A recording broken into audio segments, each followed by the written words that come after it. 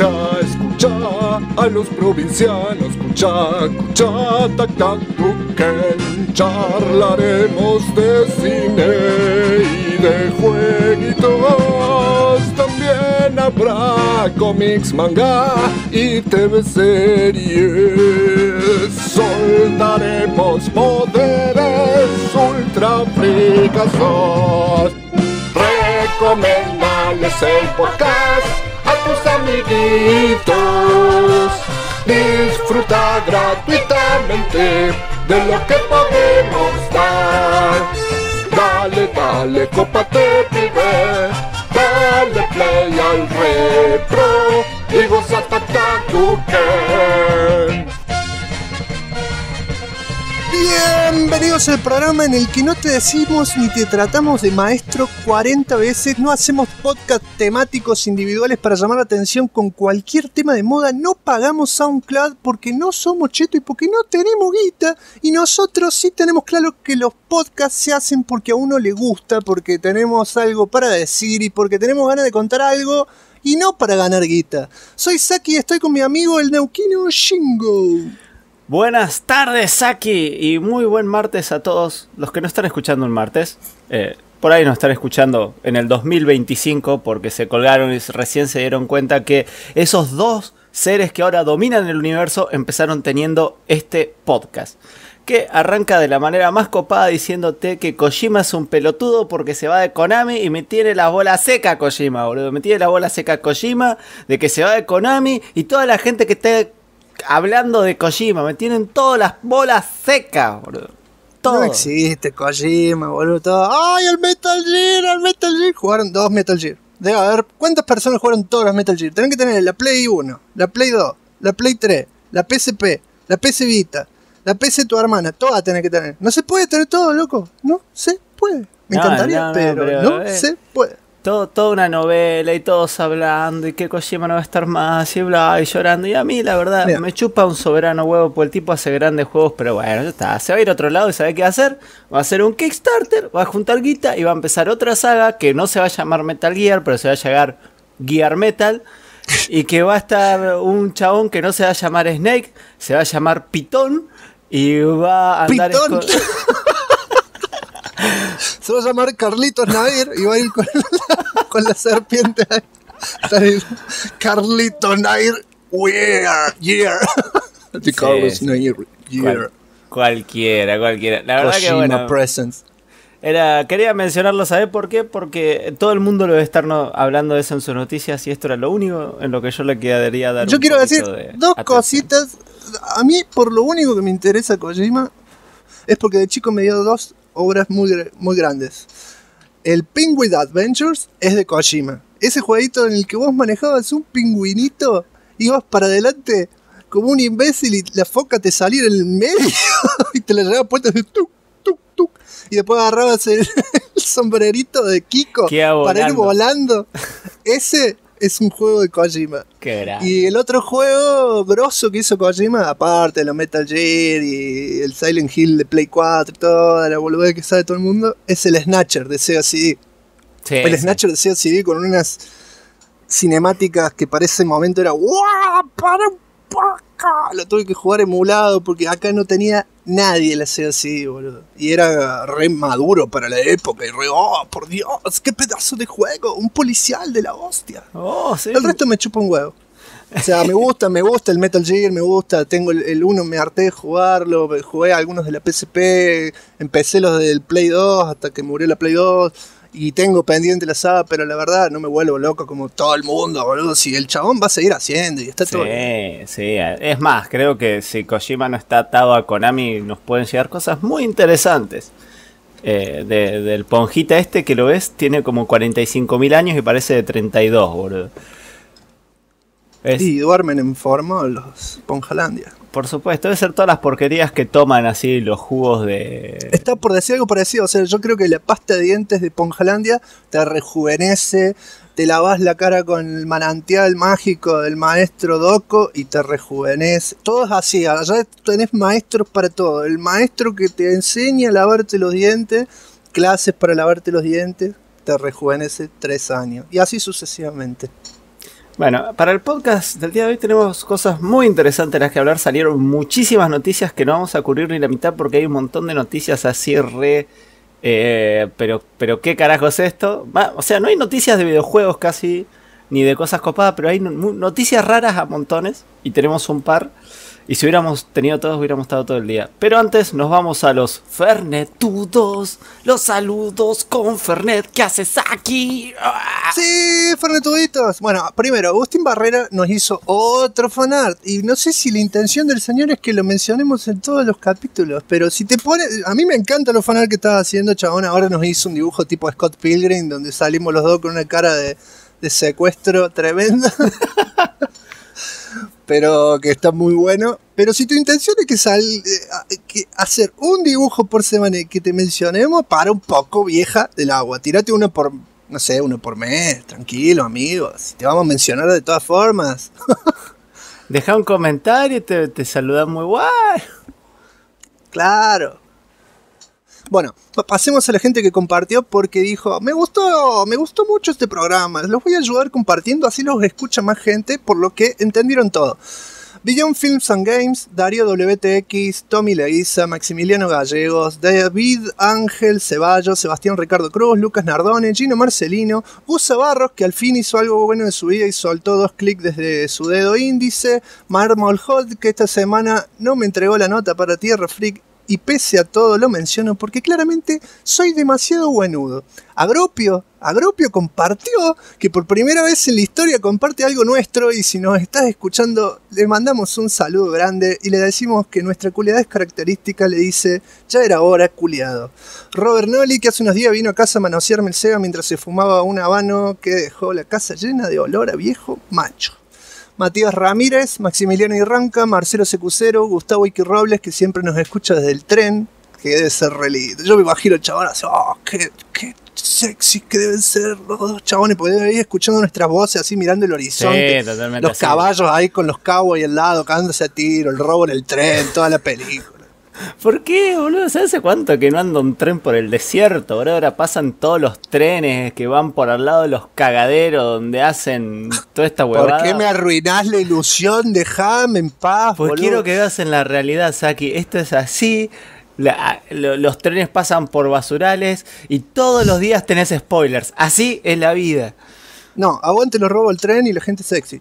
Pablo Van Rijn que nos vive preguntando cosas por privado, tirando ideas y cosas como para que el podcast sea mejor, pero la realidad es que él hace mil años que tiene que hacer un podcast y no lo hace porque está esperando que el innombrable haga algo y se va a morir esperando porque el innombrable es una larva, no hace nada, boludo. Se duerme sentado, boludo, déjame de joder. En Facebook pasaron a saludar eh, Sebastián Ricardo Cruz, Marco Prevatel, que también vino a casa a traerme revistas porque sabe que yo colecciono de todo y tengo problemitas, así que gracias Marquito por tus donaciones. Daniel Páez, que nos recomienda el Drill Drowser, otro juego de Game Freaks, porque la semana pasada hablamos de un jueguito del elefante loco, y este es de Game Boy Advance. Y lo estuve hojeando y tiene un pintón impresionante, así que lo voy a poner, lo voy a probar yo, Daniel. Calculo que Shingo no, porque es un culado. Martín Torres, mi niño. Siempre Darío tengo que recibirla yo, la concha de tu hermano. Un día me va Sí, a somos dos, los alguien- es un culiado este hijo de puta. Darío WTX nos hizo acordar que no mencionamos en el programa anterior los juegos de Indiana Jones de LucasArts, y es Por verdad, supuesto. nos colgamos. Recordamos. Yo Pasa que si personalmente ponemos- no jugué ninguno, así que pues como eran de PC cuando, cuando ya llegó la PC. Claro, yo, yo lo jugué de grande y lo jugué antes que el Monkey Island. Todo al revés, así. Pasa que si nos poníamos a mencionar todos, íbamos a estar más de las tres horas que estuvimos. Lo que me recordó también que eh, no nombramos el Indiana Jones and the Emperor's Tomb, que yo lo había puesto entre el top 10 de los niveles de agua. Es muy bueno ese juego. Muy bueno. Eh, Facundo Pultera, Lucas García, Diego Coronel. En Twitter, Belu Moreno nos puso un tweet que dice: ¿Las fans de Tac Tac Duken somos las fernetuditas? Ya me hago la remera. Y puso el link del video porque es una ídola, Belu. Eh, saludos para Matías Paz, Argentina Podcastera, que me olvidé de decirlo, ya estamos en Argentina Podcastera, así que si no Eh, pere, Podcastera, pepe, salimos ahí como los campeones Ahora, ahora empieza a ladrar el interprovinciales. chihuahua, me que ladra el chihuahua. No, no, no lo invoques, no seas hijo de puta. Eh, a Jade 115, a Darío Viaño, George Carrasco, Megawaki Max, Nahuel Viola, Malgab 5, son nickname, boludo. Eh, Lucas Guerra. Espera, antes de que agregamos, un amigo mío de Ashen, que trabajó mucho tiempo conmigo en la municipalidad cuando era pura y exclusivamente informático, le mando un abrazo. Porque. Eh, no solo es un PC Master Race desde hace años, así que bueno, si merece que le peguen un poquito para que entienda las cosas, sino que también va a ser papá de una nena y van a ser un ¡Esa! mes antes que mi hija, la niña. Oh, va a tener que- una amiguita y van a salir juntas. Y, y todas si, esas cosas salen, que a vos no te si gustan. salen como los padres, pf, sabe cómo van a salir, ¿no? Mientras traigan plata a casa, que es lo que importa. que todo- Ah, reculeado. Eh, Lucas Guerra nos dice, muy buen programa chicos, como siempre me recabe que haya sido casi tres horas, aprendan, esto va para unos amigos que nos dicen que es muy largo el programa, aprendan hijos de mil puta, chúpense esa naranja. Eh, le gustó que el programa sea tres horas. Alto reminder de juegos y a medida que los nombraba buscaba gameplays en YouTube, grosísimo el Ghostbusters. Abrazos gigantes, mis provincianos queridos, saludos para el Chihuahua también. No sé por qué leí esa última parte. Che, Eh, eh, Alejandro Some. Sí. Ahora que dijo lo de los gameplays, yo tenía muchas ganas de poner videitos de gameplays en ese video, pero después dije, aparte de que iba a ser un laburito un poquito más complicado, eh, me acordé de que YouTube es rijo de puta y dije, ah, no, seguro que me va a decir, no, porque este gameplay agarró y lo, lo puso a su nombre Juan Pelota, así que Juan Pelota quiere que le pague no, porque está no, ya pasando el está. Ya fue. O sea, la idea al principio, para los que no sepan, íbamos a hacerlo más videado. al- o sea, el video iba a tener imágenes reales. No solo ese, sino desde el principio de Tactic Token lo íbamos a hacer no solo con imágenes estáticas, pero se fue complicando a medida que. No solo por cuestiones de tiempo, sino por cuestiones de subida. El video pesaba. Al ser programas de dos horas y media, tres, todo video, por más calidad comprimida tardaba años en subirse y hacemos otras cosas aparte de Tactic Duken y se complicaba bastante. Eh, Alejandro Some, que es el pibe, uno de los pibes de Argentina podcastera, demasiado cine y que ya lo he mencionado mil veces, nos grita en YouTube. Aguante el podcast nacional, federal, cordobés, neuquino y fernetero y la puta que lo Y creo que es el mejor comentario que he leído en la historia de Duken. Así, re agitador y moviendo el brazo arriba. Sí, por eso lo dejé por el final porque era la gloria. Bueno, eso Y son podemos pasar a las noticias. Podemos pasar a las noticias. Y las noticias, como digo, son más what the fuck que otra cosa. Porque, ¿qué tal si tenés un libro de 50 sombras de Grey donde te reemplazan a todos los personajes con personajes de Dragon Ball? Me ¿Qué? corto un huevo. Estoy, estoy viendo una imagen. estoy viendo una imagen de Majin Buu con tetas. Pero con tetas grandes. Bueno, espera. Esa imagen que estás viendo de Majin Buu y que si están en, en YouTube la están viendo, eh, obviamente en el video, tiene unas inscripciones que son eh, extractos del libro. Que dice lo siguiente, esto vendría a ser lo que, lo que dice Majin Buu. Cuando no es el hijo menor del jefe, es el tío bueno del amigo del hijo mayor, incluso el director rival. Jolines, todos quieren seducirme. Eso es lo que dice la- no, no, no. y hay más imágenes. Hay una de. que la estoy viendo acá. De Freezer. Que dice.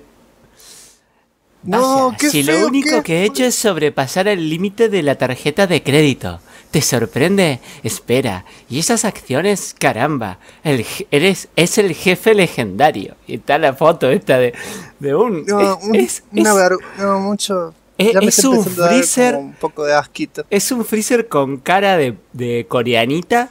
Y ahora que lo estoy viendo, es, una foto de una ponja redibujada encima. Fíjate la imagen de Cell, que la vamos a estar viendo en pantalla ahora.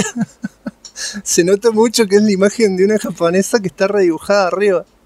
Sí, sí, Tiene sí. un escote. No, no. Y bueno, la- lo de Ah. Cell dice, soy una secretaria tan fantástica que hasta le doy clases privadas al hijo del director, que no, valera, que no valora estos detalles. El pequeño no me interesa, pero me gusta hacerle llorar. Me encanta su cara de enfadado. Venga, cariño, muestra lo bueno que eres. ¿Qué lo parió? Bueno, estos son los extractos. Y después tenés para chusmear la fanpage del tipo que hace la, los, los arts, eh, las artes para, para esta, estos dibujos. Y hay uno de Krillin, que este no sé qué dicen, pero es un dibujo de Krillin tipo mina también. Y bueno, si entras a chusmear más en la fanpage de este chino, que no veo ni el nombre, pues está todo en coreano. Aunque es chino, yo le digo que es chino, pero está todo en coreano. Del coreanín este, ese que no entendés ni cómo se llama el chabón. Eh, y hay un montón de, de- de arte así del tipo que la entras a ver y es súper, súper creepy, boludo. Súper creepy. Mal, mal. Muy Eh, no, peor muy- que las imágenes que estamos viendo ahora. Y me llamó mucho la atención porque, eh, o sea, el chabón lo único que está haciendo es ilustrar, ilustrar este libro. Eh, que justamente toma los personajes de Dragon Ball y te los mete en una especie de novela 50 sombras de Grey.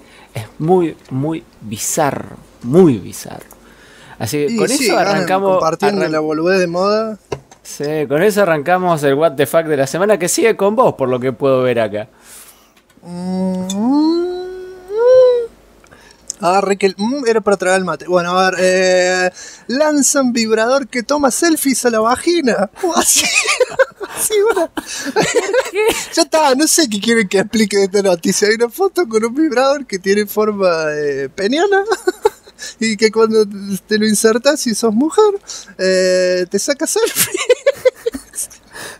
Hola, O sea, mi amor, el- ¿cómo me veo? Te mando una selfie, así una selfie y todas las carnosidades vaginales. ¡Ah, qué asco, boludo! Sí, lo que no dice acá si tiene luz. Yo quiero creer que tiene luz, porque si no, si no tenés bien iluminada la cucusa, medio como que no va a verse un choto, boludo. Sea, Un vibra- o sea, dice, un vibrador con cámara incorporada que te permite grabar lo que sucede en el interior de tu vagina. Y eso no es todo, el aparatito también es compatible con FaceTime. Eh, no, no, no, dice que tiene cinco velocidades diferentes para escoger, o sea...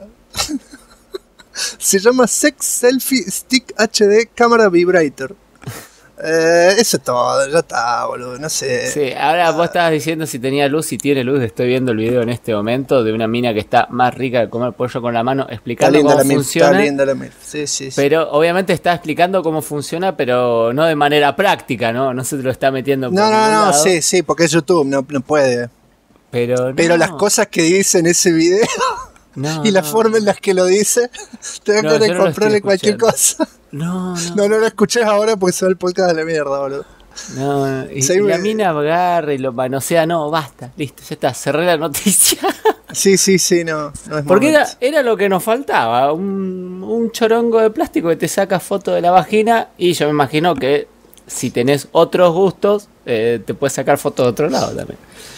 Eh, no, no, no, pasemos a la próxima noticia. No, gracias. Esta es una noticia en serio.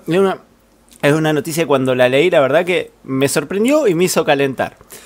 Eh, todos sabemos que va a salir dentro de poco, va, poco no, en un par de meses se viene Windows 10 y va a ser gratis la actualización de este sistema operativo para todos. Pero cuando me digo para todos, no digo no para todos los sistemas ope- operativos de Windows originales, sino para todos. Incluso, como yo puse acá en el título de la noticia, que es Windows 10 gratis, incluso para Jack Sparrow. Si sos un pirata y tenés el Windows S, Windows 7 recontra recraqueado, también puedes actualizarte a Windows 10 totalmente gratis. Se nota que Microsoft dijo, ¿saben qué? A la aposta es vender programitas pelotudos de un dólar. Así que quiero que todos tengan el Windows Store. Así que si vos tenés Windows trucho, toma, acá te doy el original. Eh, Yo cuando leo eh, Windows 10 será gratis incluso para los piratas, lo, lo primero que escucho es ¡It's a trap! es, es todo lo que escucho. Algo Eh, turbio debe haber. Te deben analizar la máquina, se te deben meter los negros de Microsoft a ver cuántas pero negradas te voy, oscuras a- tenés. te, te voy avisando que ya estamos todos como Sasha Grey. Se nos metieron todos los negros, papá. No, Todo, todo. Tenemos la computadora reanalizada. Ya, ya date cuenta que no tenés vida privada. O sea, no, vieja, yo soy re paranoico, está todo cerrado acá. Acá no entra nadie. Trata de meterte si podés. Desafío al hacker máximo que venga acá y se meta y me, después me mande una fotito con mi cara que yo no haya subido a ningún lado a ver si la encuentra. Está todo rareado con 27 RAR, 350 contraseñas. No podés encontrar nada. No podés. Bueno, pero A lo qué sé sumo yo. los emuladores de Sega podés encontrar. Bueno, ¿qué, qué más me va a sacar? no? Pornografía furry. Mucha pornografía furry. ¿Por qué no? Basta. Cambia de tema, dale. Sí, Ah, me toca a mí. Te toca a vos. Sí, esto- Bueno. est- esto va a ser el ping-pong de noticias, porque yo veo que es una voz, otra. Eh, como dirían los chicos de rayos catódicos, un monguito. Un monguito le dicen los pibes a un Kickstarter o algún tipo de proyecto en el que hay que poner una platita para que se lleve a cabo. Este tema se llama, es un jueguito de 8 bits que se llama Infernax. Infernax es un jueguito que se ve muy hermoso, que es una especie de plataformero con algunos toques de RPG, pero más que todo plataformero y se ve tan lindo. Vamos a dejar el link en algún lado, en las descripciones o en algún lado porque tendrían que entrar y si les gusta y tienen unos morlacos, podrían dejarle porque yo la verdad que apenas cobre un par de dólares de tiro. A pesar de que no creo que me den nada por un par de dólares porque el mínimo es 5 dólares y te dan El juego. jueguito y, y nada más.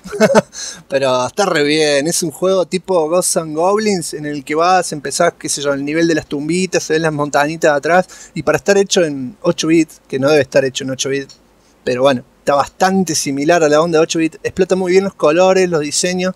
Parece tener una jugabilidad muy acertada y certera. Y tiene una onda medievalesca, pero medieval divertido, ¿no? El medieval pesado de política que hablan y que cuchín, cuchín, cuchín, cuchín, se No, golpean, es, ¿no? es ir por los dungeons matando bichos. Claro, hay monstruos, de- los diseños, los diseños de los monstruos están muy bien. Sí, sí, estoy hay viendo uno brujería. mal. Son, son tipos así como muy inspirados en el Dark Souls, parecen algunos. o- Claro, y, y hay sangre, o sea, uno está acostumbrado a los jueguitos viejos donde no hay sangre. Eh, vos matás al enemigo y desaparece o caen los restos. Pero por ejemplo, acá estamos viendo un, un jefe final que lo está matando, lo mata, lo mata, lo mata y el chabón, el, el monstruo explota y se ve que vuelan los pedazos de sangre. y es lindo ver eso en 8 bits. O Sí, qué es- sé es yo, hay otro que es re grotesco que tiene una, una boca en la panza con, con labios y, y- y tiene como prensas en las manos. Sí, como, No como sé, pin- está- pinzas de acero. Sí, Sí, está sí. muy No, bueno. el que vos decís es buenísimo porque es el bicho es así todo como un bicho que lo, lo armaron a las cosidas que tiene en la espalda. El bicho tiene chabones empalados, clavados en la espalda. Claro. Y cuando se muere, primero se le caen todas las entrañas al piso, explota y quedan las entrañas en el piso. No, está muy bueno. Está muy... Yo creo Muy que bueno. si entran al link, eh, o sea, si van a Google, ponen Infernax con X eh, Kickstarter, van a poder encontrarlo. Si le dan play al video, ya el video se vende solo. Ya el video te vende el juego. Y te hace soltar un Morlaco 2. Sí, lo que sí Fíjense. Estoy chusmeando acá el sistema, ya llevan cuatro mil y pico de dólares los pies, no sé Pero viste que generalmente esto te dice eh, tanto, eh, tanta guita para, para, para llegar a la meta. Y acá Claro, y ahí no dice. no dice, no, no dice cuánta guita. No sé, Capaz que ahora la opción se oculta. Capaz, sí, por ahí cuando Se puede sos un ocultar, proyecto, capaz, no sé. Un proyecto de que se junta lo que se junta, podés poner la opción de que no sea cuánto necesitas. Claro, que no haya un límite.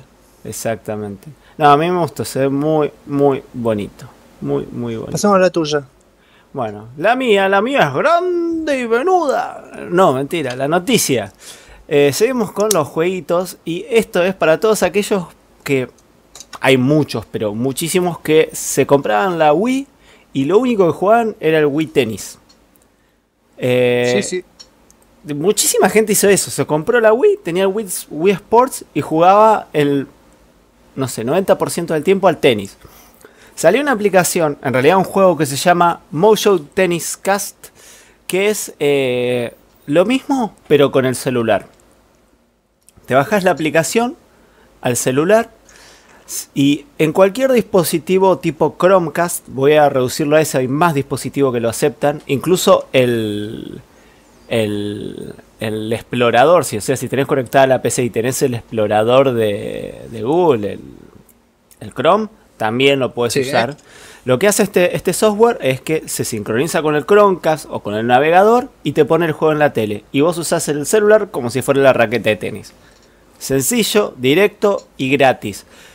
El único punto en contra que yo le encontré, porque obviamente donde vi la noticia dije, oh, qué copado, lo sumé a las noticias nuestras porque me parece algo que la gente lo puede disfrutar mucho, es que si tenés un celular que todavía no tiene el sistema operativo Lollipop de Android, no te va a funcionar la sincronización con eh, con eh, con Chrome. Chrome, Con Chrome claro. nada más. Con Chrome no te va a funcar eh, con todo el resto de los, de los dispositivos. Tiene como 10 dispositivos los que se puede conectar, Smart TV, toda la bola.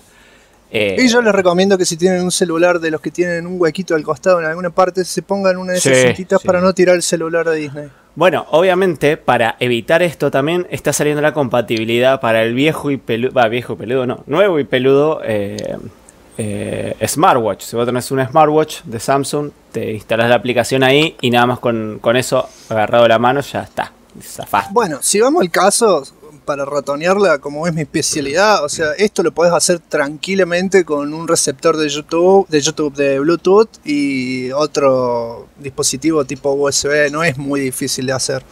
Más para este tipo de movimientos, o sea, hay formas caseras de hacerlo, lo podés encontrar en YouTube, hay tutoriales. Ah, Pasa que la gente es paja y no, esto, te viene todo junto. Es más, claro. vas a acordar a, a, la última versión de Ultrastar que vos te la bajás al celular y jugabas desde el celular. Antes lo que vos usabas que era el, el Wiimote o el cuerpo, ahora directamente usas el celular y listo, te fuiste.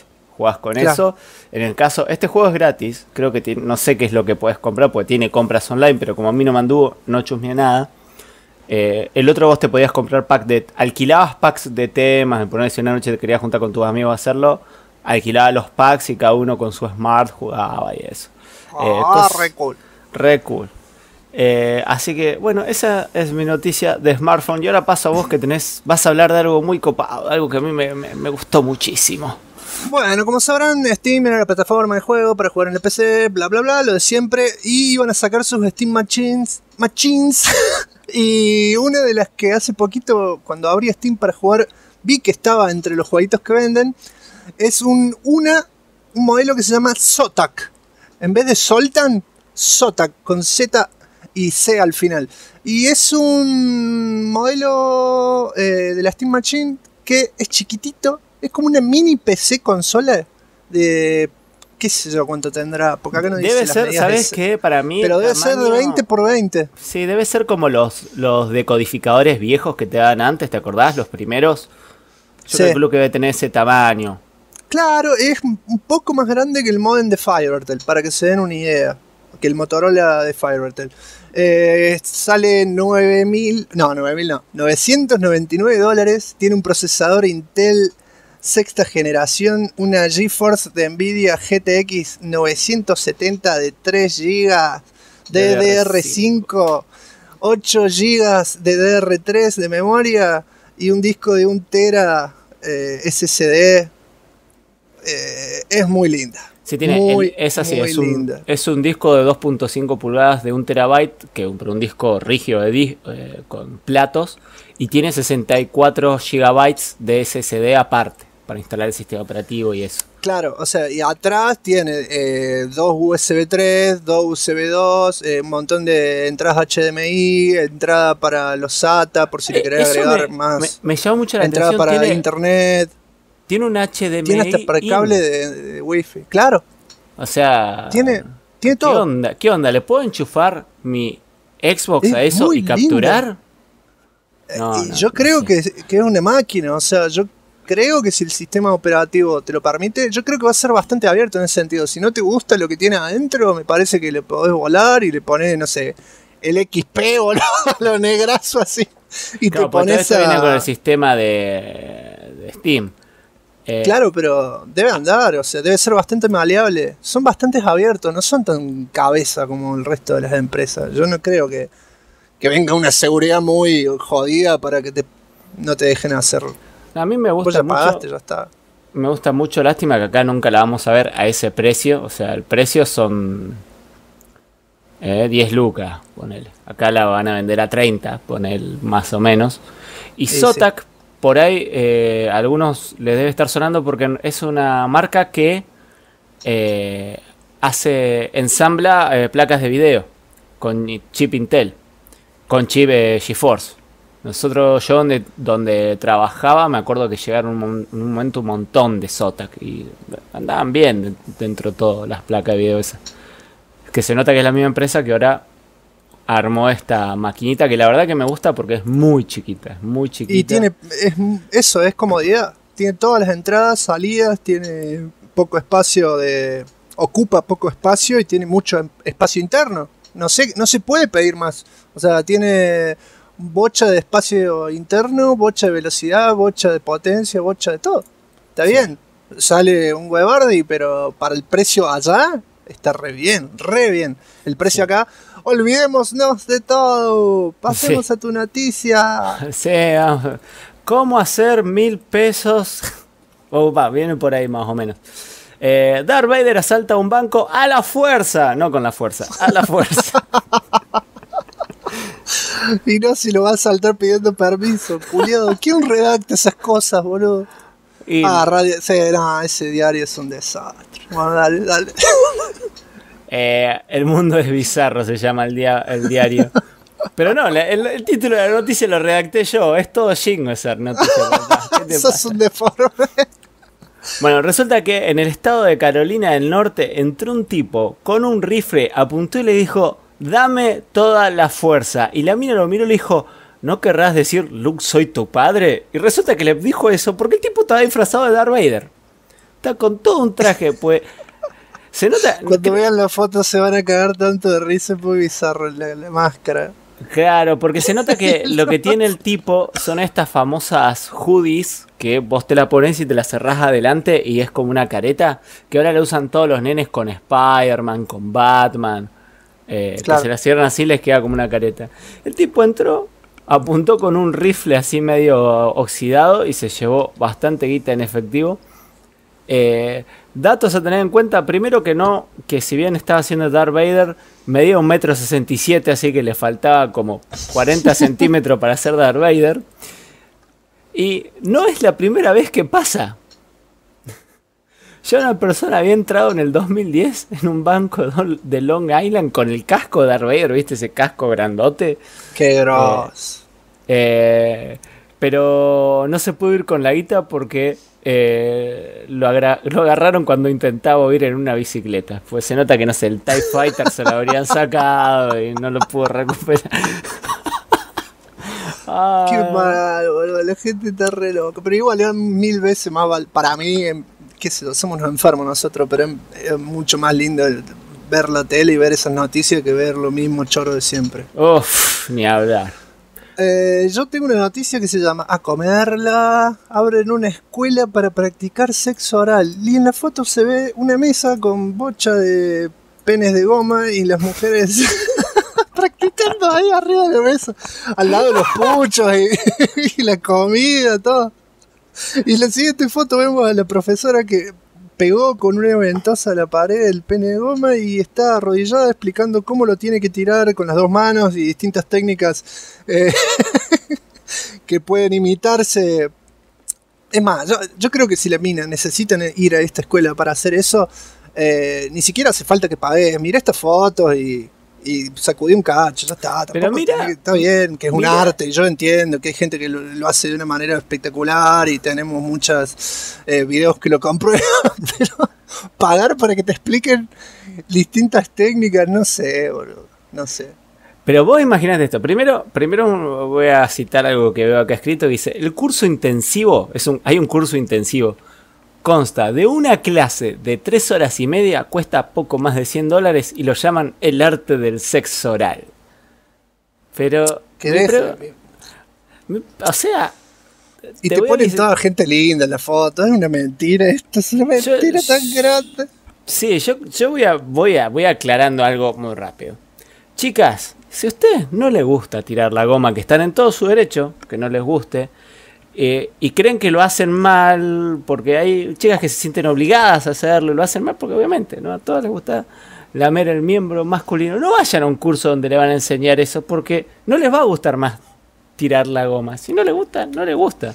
Porque cuando las que lo tiran bien es porque les gusta tirar la goma. Bueno, pero hay que admitir que si van, si van es porque hay mucho amor por su pareja y están diciendo, están tratando de llegar de una forma mejor porque ellas saben que lo hacen mal y si no encuentran otra forma o le da vergüenza charlarlo con amigas, eh, en ese sentido voy a decir, ah, qué buena mina, está yendo a una clase.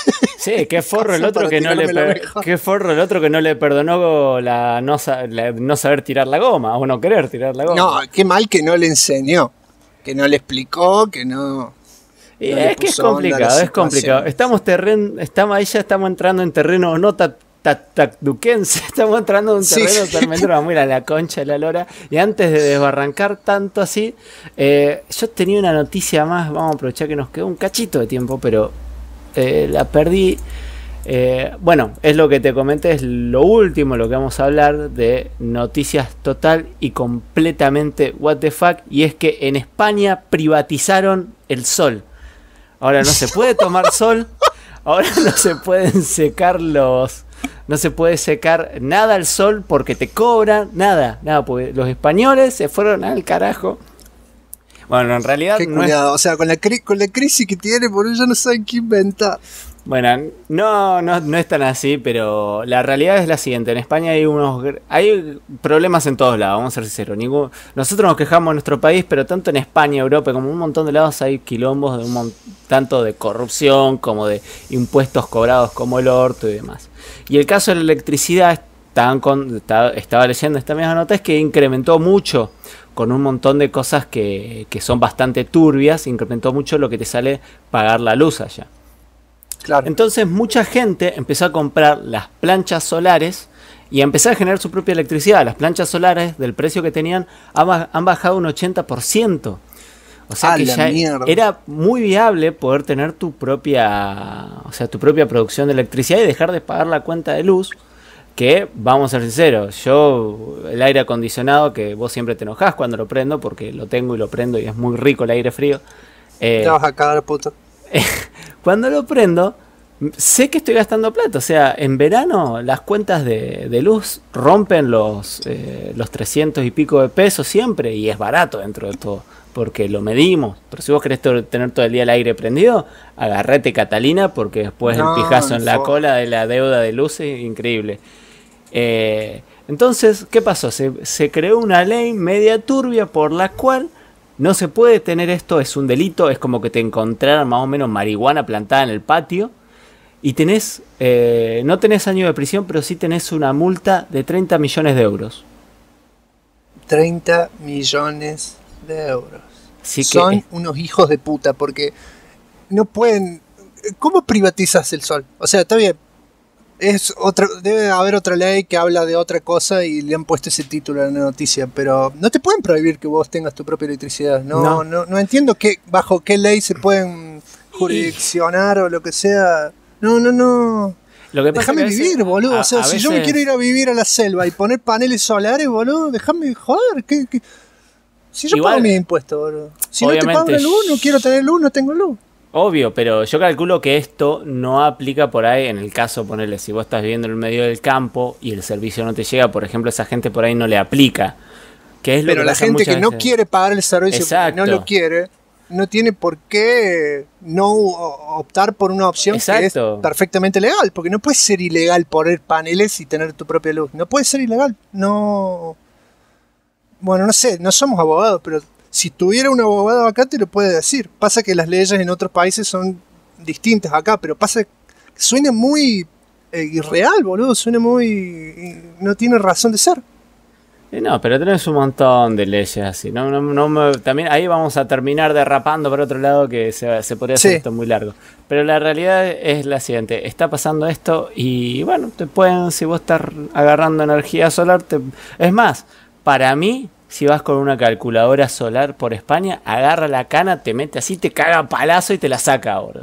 Seguro, seguro. Seguro. Así que esas son todas las noticias por el día de hoy. ¿Vos querés agregar algo más? No, podríamos pasar al temita musical y luego ir con los temas centrales. Bueno, ahí le pongo play al temita, toma.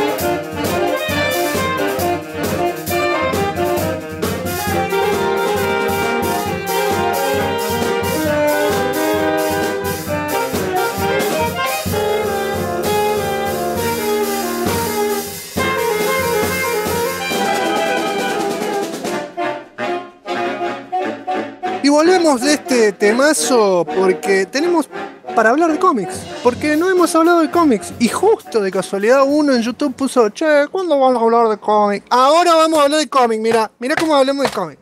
La cosa es que Mark Greenwald y Mike Carlin, en ese momento, en 1996, eran los editores de Marvel Comics y de DC Comics. Eran muy amigos, pese a todas las rivalidades boludas que nosotros sentíamos de chicos. La gente en el medio son todos amigos porque son dos empresas que se prestan, se prestan entre comillas, son como los equipos de fútbol, o sea, los jugadores se pasan para los dos lados. El laburo Claro. laburo y vos veías que un día Jim Lee estaba en Marvel, otro año estaba en DC y pasaba lo mismo con los 250 dibujantes y guionistas que corrían por todas las empresas. Eh, estos dos pibes estaban tomándose un café y decían, oh, qué lindo sería que Batman se caga trompadas contra cualquiera porque Batman es regroso. Sí, tenés razón, pero a Spider-Man le patearía el culo. No, eso no, eso lo dices porque tú trabajas en Marvel. No, yo no trabajo en Marvel. Necesito vivir. a lo que vamos es que esa es la historia que hay atrás del crossover que se dio en el 96 de DC versus Marvel o Marvel versus DC, según el número que agarres, porque era tanta la, rival- la rivalidad boluda que habíamos cuando éramos chicos que el primer número se llama DC versus Marvel, el segundo número se llama Marvel versus DC y así sucesivamente para que nadie sienta que está primero la otra editorial. Claro. Eh, esto fue como una boludez, porque o sea, uno dice, ah, sí, eran amigos, hicieron esto. En realidad, todos sabemos cómo es la cosa hoy de grandes. Eh, la gente necesita plata y tiene que hacerlo. eh, necesita hacer plata, eh, trabajar, hacer dinero y llamar la atención. Y, Y este para tipo hacer de cosas. plata, lo mejor es hacer quilombo. Claro, Siempre. este tipo de cosas llaman la atención muchísimo, porque si bien había habido muchos crossovers anteriores a este, nunca tan grande, nunca universo contra universo.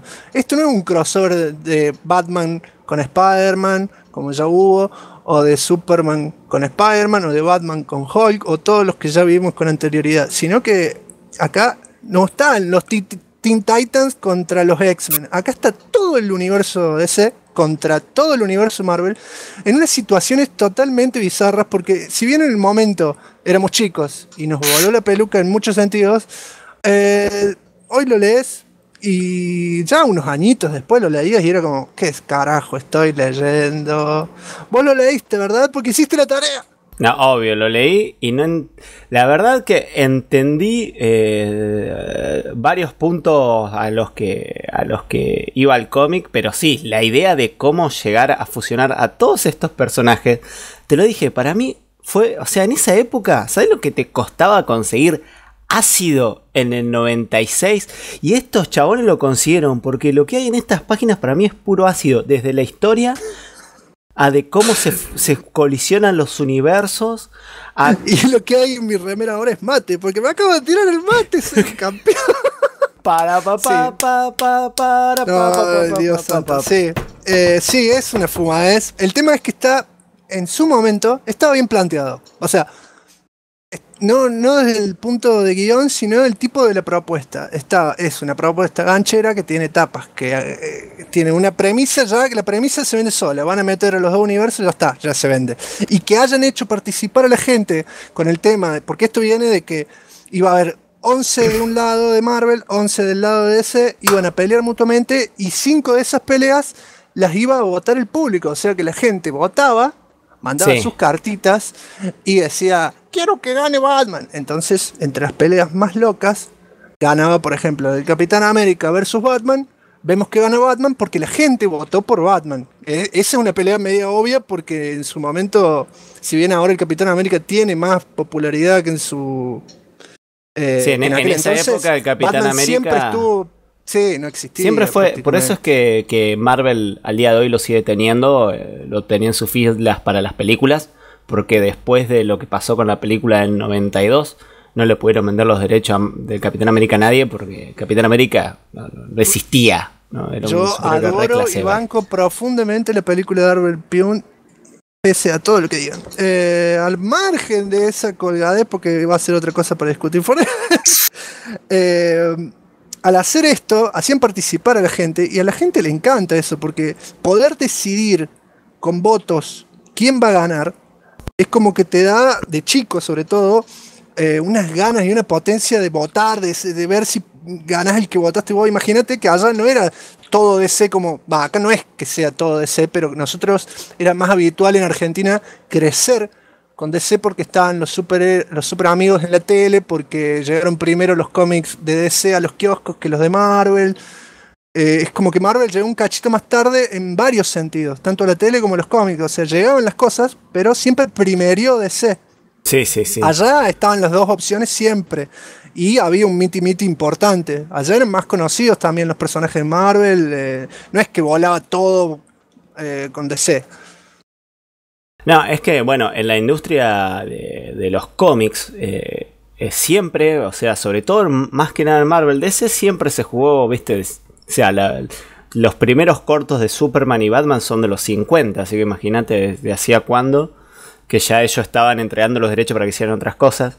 Pero Marvel siempre tardó porque para ellos los eh, dejaban de vender cómics al año siguiente ya. Como que la industria se está acabando año tras año, ¿viste? Eh, bueno, sí, la cantidad de crisis comiquera que hubo en todas las épocas, en todas las décadas.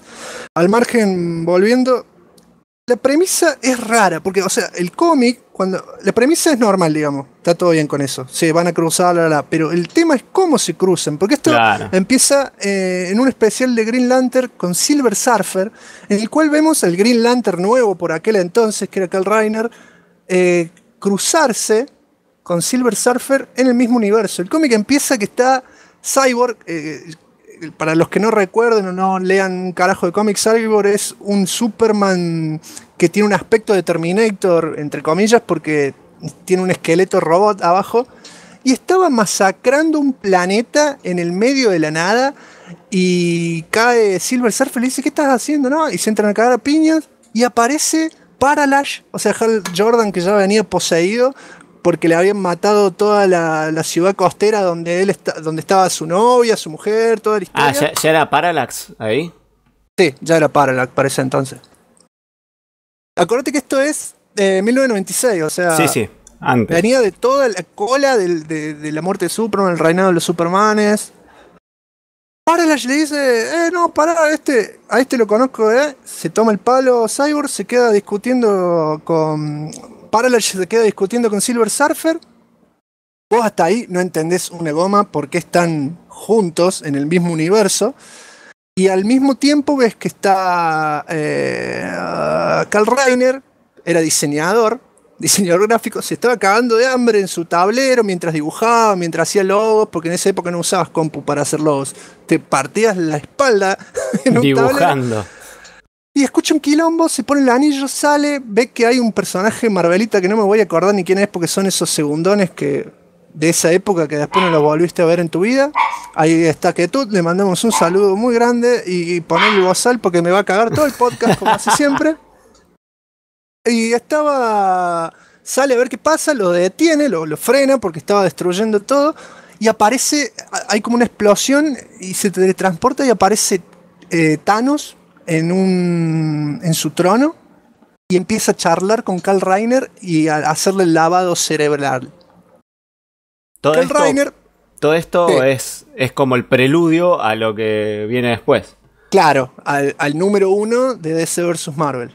Esto es como el primer crossover previo a esto, donde se desata todo. Entonces, acá eh, Thanos le empieza a lavar el cerebro a Carl Reiner, porque claro, Carl Reiner es nuevo, o sea, es superhéroe y todo, pero primero, si bien tiene olfato, es buen tipo, y superhéroe y toda la historia, era newbie y no lo conocía Thanos. Por más cara de culero que tenga Thanos, bueno, podés juzgarlo por la cara. O sea, podés. Y no sé, yo si encuentro un negro violeta de dos metros con la quijada gigante y teniendo en cuenta que así era Doomsday y le tendría un poquito de miedo, Digo, se parece a Doomsday, nada más que violeta, puede llegar a ser malo. Capaz que era el primo no se bueno. parece a Doomsday, boludo. Tienen similitudes. Vamos a ser sinceros, tienen similitudes. Es muy grandote, pero. Para mí no, no tiene nada que ver, pero bueno. Bueno, bueno, está bien. Para ti tiene similitudes. Es más, voy a hacer una imagen comparativa. No. Eh, la cosa es que. Esto. Es que estoy todo el tiempo pensando en que digo mucho. La cosa es que. pero bueno, lo voy a decir forever. La cosa es que. De nuevo, la cosa es que. eh, eso es un boludo, ¿qué te reís? Es malísimo. La cosa es que. Eh, Thanos ¿La lo cosa del a? Reiner para ir a. No, no está acá. Por suerte no la embarraron a esa. Eh, lo convence Porque a. está en terreno pantanoso. ¡Ah! ¡Para! No. Bueno, dale, dale, te dejo de. Lo convence a Carl Reiner para que lo lleve al espacio. A ver, no me acuerdo qué es boludez. Porque es toda una excusa para que. Ah, porque necesitaba el poder del anillo, Thanos. Pero no se lo dice. Le dice, tenemos que salvar porque vienen más enemigos, qué sé yo, me tenés que acompañar. Carl Reiner le dice, tienes cara de malvado, pero voy a confiar en ti. Y tiene esos diálogos que voy a decir, por Dios, boludo, ¿por qué estoy leyendo esto? Soy un tipo grande ya. Y al, mismo tiempo, Parallax le va llenando la cabeza a Silver Surfer para evitar tanta muerte, porque están los dos frente a un planeta que está prácticamente con todos los eh, habitantes muertos a manos de Cyborg. Y dice, yo quería cambiar todo esto, le cuenta que se le murió la Germo, que se murió Ciudad Costera, que palmaron todo por el incidente, y Silver Surfer se siente, siente una empatía muy grande porque él también vio un montón de planetas morirse a manos de su jefe, digamos, que era eh, Galactus. Entonces como que le dice, nosotros dos juntos podemos volver a... eh, con nuestros poderes juntos podemos volver a... eh, al pasado, o sea, no viajar en el tiempo, pero revivir a todo esto. Entonces dice, dame la mano, y le da la mano y, y reviven al planeta ese, y están todos los habitantes chochos, se ponen a bailar, tipo la escena esa de Matrix 2, donde vos no entendés qué carajo se fumaron, que están todos bailando. ¿Como la de Matrix gira. 2 o como la, la de Transformers, la película en el chatarrero, que estaban todos bailando al final? No me acuerdo. Todos de los eso. robots bailando, ¿viste? Qué bizarro, bueno. Bueno, eh, para resumirla, porque es re largo al pedo y dan 200 vueltas, Thanos lo estaba, lo estaba boludeando a Carl Reiner, lo tiene agarrado en la nave, le saca el anillo porque quiere eh, el poder de él, porque la realidad, la realidad misma, o sea, es una cosa amarilla en el cómic, vos ves como una bola flotando, de, está agrietada y él quiere que se fusione todo y el otro que se fusione todo como que está explotando. Y no, la verdad, no me acuerdo qué carajo quería Thanos con el poder del anillo. Porque es- no tiene nada de sentido. Es más, eso, Eh, eso no se retoma en el cómic después en... No, porque No. justamente por eso no me acuerdo. Porque es como un puntapié para decir, a ver qué sale de esto. Y después los que, los que escriben el cómic eh, de DC vs. Marvel no toman eso, ni casi no lo mencionan. Eh, es como una previa, digamos. Sí, sí, sí. Eh, ahí se da cuenta que el Rainer le dice, ah, me engañaste, sí, si sos un imbécil te engañó. Porque sos justo diseñador cae- gráfico, te engañé, le dijo. Cae Silver Surfer con Pararush, que estaban de casualidad a dos metros de la nave, se entran a cagar a piños todo contra todo. Silver Surfer se da cuenta, porque también Silver Surfer llega, le pega a Thanos y también le pega a Carl Reiner, porque ya que estaba le pega, porque como desconfía de todo, le pega. Carl Reiner le hace entender que él es bueno, que Thanos lo engañó y que Hal Jordan está mal de la cabeza. Hal Jordan para los colgados es Parallax. Entonces se juntan Carl Reiner con Silver Surfer y van a parar a Hal Jordan. Lo paran, toda la boludez. Termina como nada, pero la grieta de la realidad está abierta. Esa boludez de la grieta de la realidad es lo que hace que después empiece DC vs Marvel y vos no entiendas por qué carajo empieza con Spider-Man paseando. Cuando Spider-Man ve una caja de luz, le da un rayo a Spider-Man, desaparece y aparece en una azotea mientras llueve y lo despierta el Joker. Y vos decís, ¿What the fuck? Está Spider-Man y lo despierta el Joker. El Joker le hace un par de chistes y se tira de un paracaídas. Sí, sí, Y es, ya es después- loquísimo. Y ahí empezás a ver cómo todos desaparecen por arte de magia. O sea, le cae un rayo que ni siquiera ves de dónde viene. O sea, aparece No, un no. rayo, pimba, le pega y cada uno aparece en el otro universo. Y si- ves cómo se empiezan a fusionar ambos universos. Porque no es que uno desaparece y aparece en otro universo, sino que se están fusionando los universos y se van eh, ocupando los espacios. A todo esto ves otro tipo que está encintando la caja de donde salen los rayos y que no la puede contener y la cinta se explota y lo ves eh, al, a- qué sé yo, el Capitán América luchando contra los, Los de, la los de Hydra. Hydra. Sí, sí. Claro. Y de ahí. Y le pumba, cae el rayo. eh, lo mandaba para Y así con Wonder. Woman, así con Hulk, así con Superboy, que en esa época estaba en el auge Superboy. Acordémonos que son los 90, hasta Lobo estaba de moda. eh, le pega a los X-Men, le pega a Carl Reiner, Electra, Flash, Thor, Aquaman, Silver Surfer, Shazam, eh, ¿cómo se Sí, llama el Submariner? No me sale Eh, el nombre. el submarinero era Namor. Namor, eh, Quicksilver, Gatúbela. Lo que está muy interesante es que se le mete eh, Bullseye a la baticueva, porque aparece Bullseye en la baticueva de la nada y, y lo, ya lo está agarrando a Robin de tipo. De rehén. Sí, de sí, sí. rehén con un cuchillo y Batman le tira un batarán y le pega antes y dice, oh, eh, tú eres más rápido que Daredevil. Y sí, papá, de Batman. Oh. Eh, qué sé yo, Robin aparece en la cama de júbilo.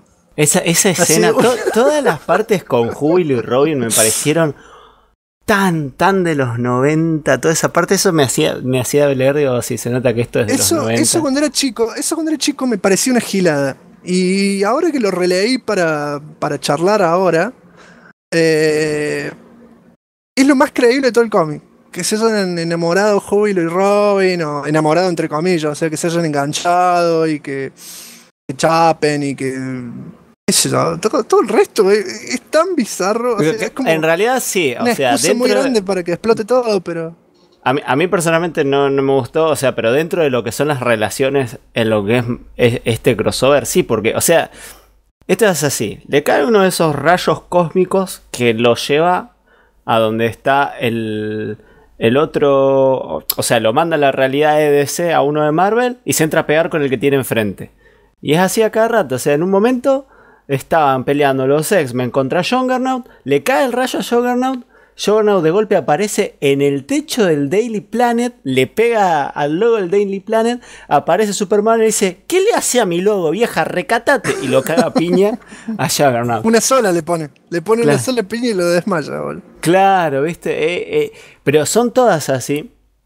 Y ya Y es- después empezás a ver cosas que vos, o sea, vos imagínate. Yo me acuerdo perfecto de esto porque cuando son cómics que sean buenos o sean malos, marcaron muchísimo mi vida cuando era muy chico porque eran momentos muy importantes de la vida comiquera. Yo me acuerdo exactamente el momento en el que compré La muerte de Superman, La caída del murciélago, eh, este cómic, en qué kiosco fue, cómo llegué al kiosco, todas esas cosas me las acuerdo, pues son cosas que para mí en ese momento eran muy importantes. Este cómic me caminé la vida para ir a un kiosco de mierda y no estaba el cómic, y era un, era un kiosco que siempre tenía todo, y no estaba, y seguí caminando. Ya casi llegaba a Argüello, que es un lugar que de mi casa está como a no sé cuántos kilómetros, pero es muy lejos para ir a pata. Y llegué, y el cómic en vez de costar 5 pesos como costaban los cómics gorditos en ese momento, los Prestige de, qué sé yo, más de 48 páginas, que tenían 50, 50 tenían 60, 70 páginas u 80, salían, solían costar 5 pesos en ese momento, como muchos 6 si no eran plastificados. Este costaba 7 y era finito. Ah, Y me tuve que volver porque te faltaba un peso. Exactamente, porque en ese momento no, no- era chico y no tenía plata. No tenía, no iba con plata de más, iba con las monedas contadas. Porque apenas conseguía la plata salía corriendo a comprar el cómic. Eh, y me volví casi corriendo y volví a hacer todo el recorrido a pata de nuevo y me lo compré. Y ver cosas como, como las que ya conté y sobre todo, qué sé yo, después empecé a ver las viñetas en, en las que ves a Batman en una gárgola y se le está asomando Venom, cuando en su momento sí, Venom sí, era muy grosso. Eh, Shazam contra el Doctor Doom. Ver a Deathstroke contra Punisher cagándose a tiros. eh, Demon versus Ghost Rider. O, o que se, se, se ponían a investigar juntos Starman y el Doctor Fate.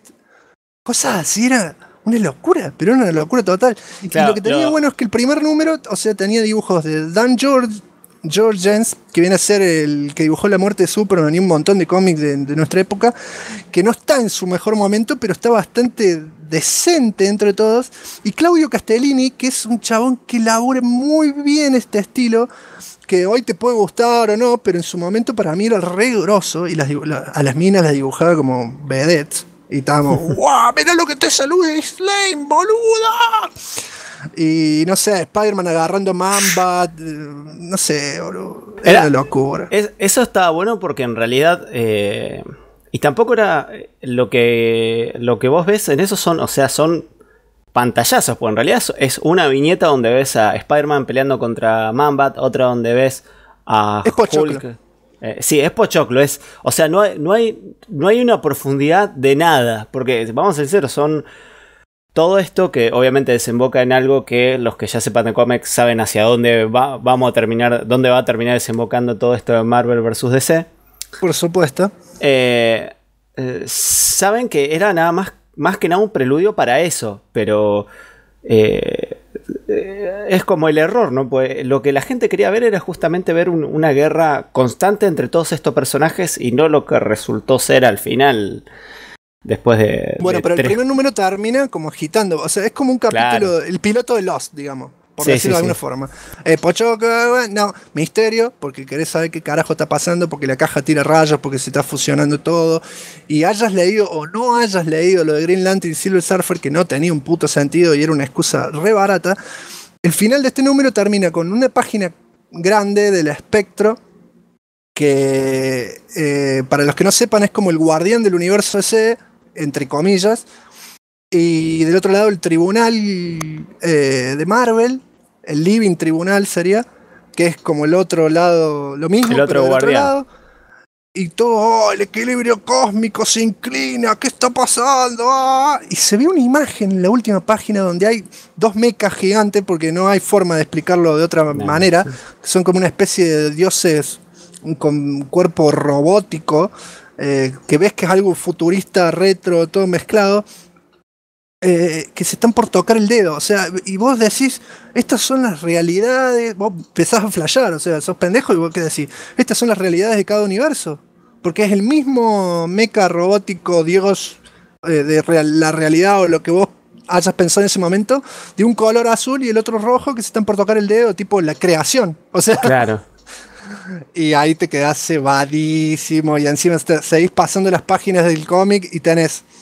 Ya te, ya te dice, eh, decisión 1996, tienes que votar porque a pesar de que acá llegó tarde el cómic, venía muy parecido al cómic yankee, o sea, te, te traía un perfil de Superman con sus habilidades, el alias, el nombre completo, altura, poder, toda la gilada, y abajo decía Superman, abajo decía versus, gigante, Hulk, con también nombre, alias, doble identidad, bla, bla, bla, bla.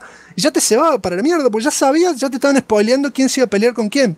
Para que vos Sí, sí, sí. votaras algo que no podías votar porque estamos en Argentina y porque ya había pasado, acá llegó tiempo después.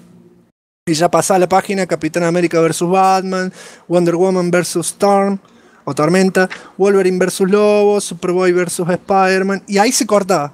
¿Por qué? Porque en el segundo número recién retomaban con lo mismo con que continuaba. Las tapas de los números, te guste o no te guste el dibujante, son pochoclo quilombero con muchísimo agite. Ya en el número, en el número uno se están fusionando los dos universos. O sea, vienen corriendo de un lado los pibes que se van a pelear de DC y de un lado los pibes que se van a pelear de Marvel, mientras cruza un rayo la realidad, digamos. Y ya en el número sí. dos se están cagando mal, a piña, mal. Sí, el- la etapa del número uno es un clásico. O sea, yo no lo había leído nunca. Esto sabía que existía, por supuesto, no lo había leído nunca, pero eh, había- he visto muchas veces la imagen sin todo, sin todo el, toda el- la parte de, de diseño arriba, solo el dibujo. Que Claro. es la clásica donde ves que arriba del todo están Hulk, Superman y después, bueno, todo el resto abajo. Pero la etapa del 2, que se ven los dos mecas, estos dioses o lo que carajo sean, Sí, sí, sí. es gigantes de cada lado y, y- y abalanzándose los de DC contra los de Marvel, entre rayos y cosas. Es increíble. Y bueno, se fue desarrollando de una manera más loca. En el segundo número vemos eh, que ya se entran a cruzar los personajes, se, eh, destapa una... eh, ¿Cómo se dicen las tapas de las cloacas? Se destapa una cloaca y sale Wolverine peleando contra Killer Croc. que es bizarrísimo. O vemos como Thanos está en su nave y se le aparece por un boom tum, se le aparece Darkseid. Capitán América tirándole el escudo a Bane.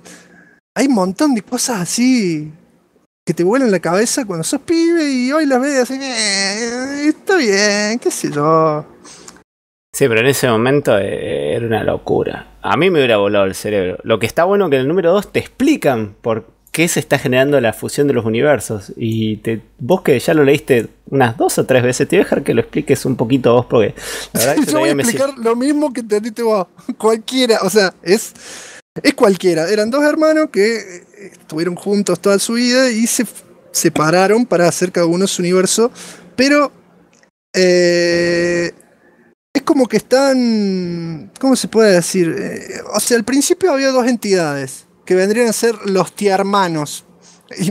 no sé cómo será en inglés, pero en castellano se llamaban los tiarmanos. Sí. Y el multiverso y todas esas pelotudeces llevó a que se separaran. Y ahí tenés la tierra de Marvel, la tierra de DC. Y las riñas boludas entre hermanos, para hacerla cortísima, porque si no vamos a estar pasado mañana, eh, llevaron a que en vez de fusionarse, querían que una de las dos tierras, la vencedora, quedara existente. Claro. Entonces eligen a 11 monos del lado de C contra 11 monos de Marvel, batalla a muerte, las reglas a muerte, entre comillas. O sea, el, que, el primero que queda inmovilizado, bajo las reglas de la lucha humana, según ellos, es el que gana.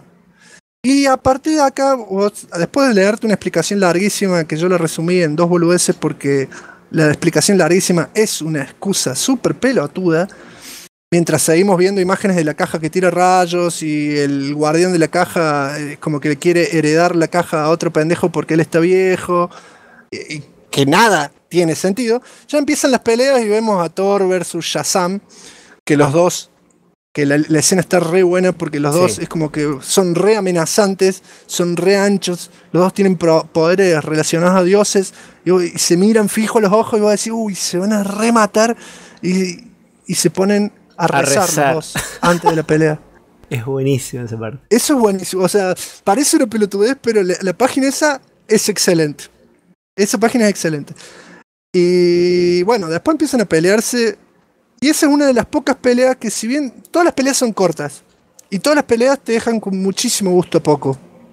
Pero esa es una de las pocas peleas que a pesar de que es predecible el resultado, porque no hace falta saber tanto de cómic para saber que Thor es muy popular al lado de Shazam y que tenía que ganar Thor.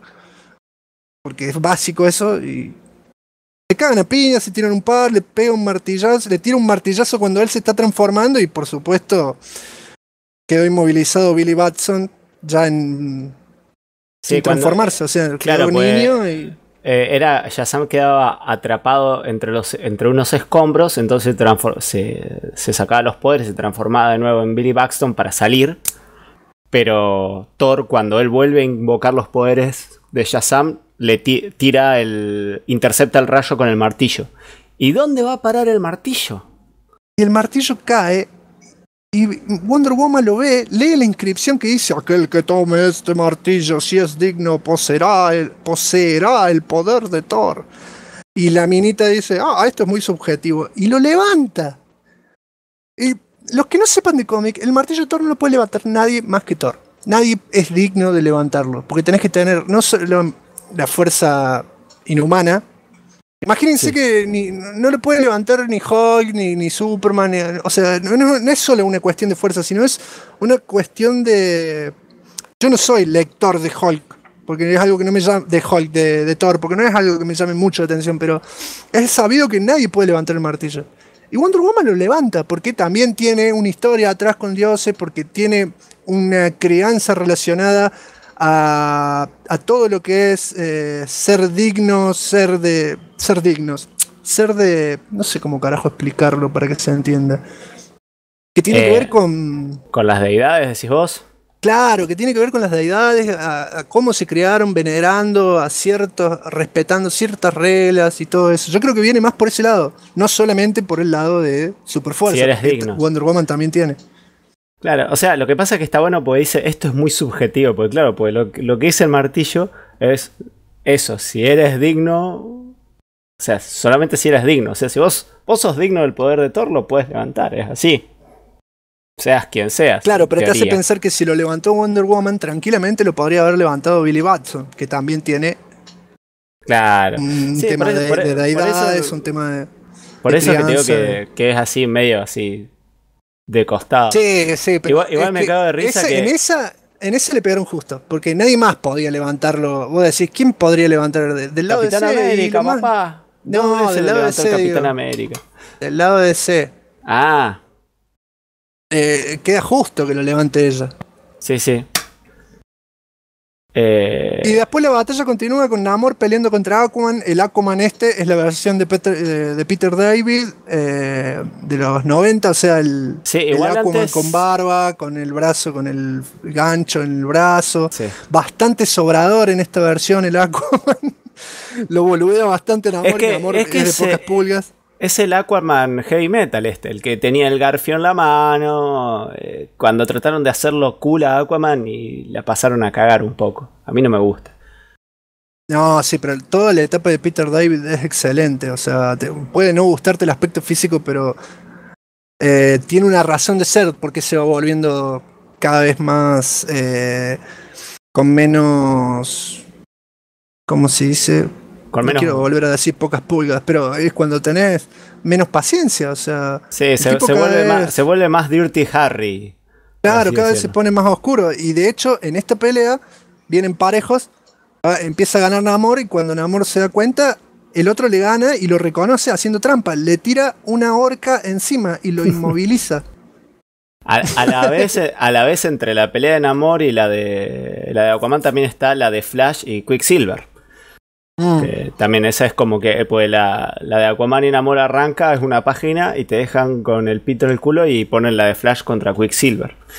Que bueno, el tema esa era es que bastante la de, obvio. la de Aquaman y. Namor también era obvia, al igual que la de Thor con, con Shazam, con Shazam, Capitán Marvel se llamaba en ese entonces ya, eh, que era obvia, la de Namor y Aquaman, por obvias razones de quién era más importante en ese momento y hasta el día de hoy, porque Namor, ¿quién te auspicia hoy? Nadie se acuerda Eh, de Namor. nadie se acuerda de Namor. Aquaman por lo menos estaba en la serie de dibujo animado, tenía más pechaba más, tuvo sus títulos más eh, importantes en ese entonces. Namor era Namor, nada más.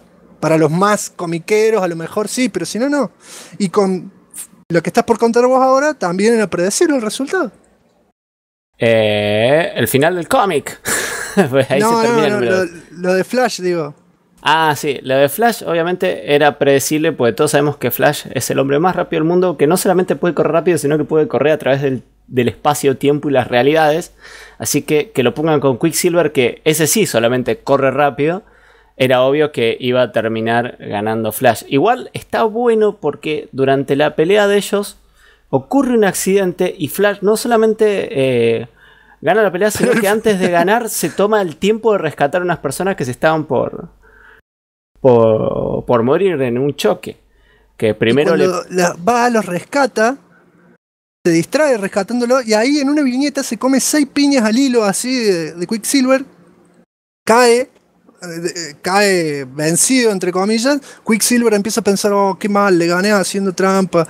Si, si- y él se tomó el tiempo para rescatar a estos humanos. Se levanta Flash, le mete seis piñas y se acaba. Y ganó Flash. Sí, sí, sí.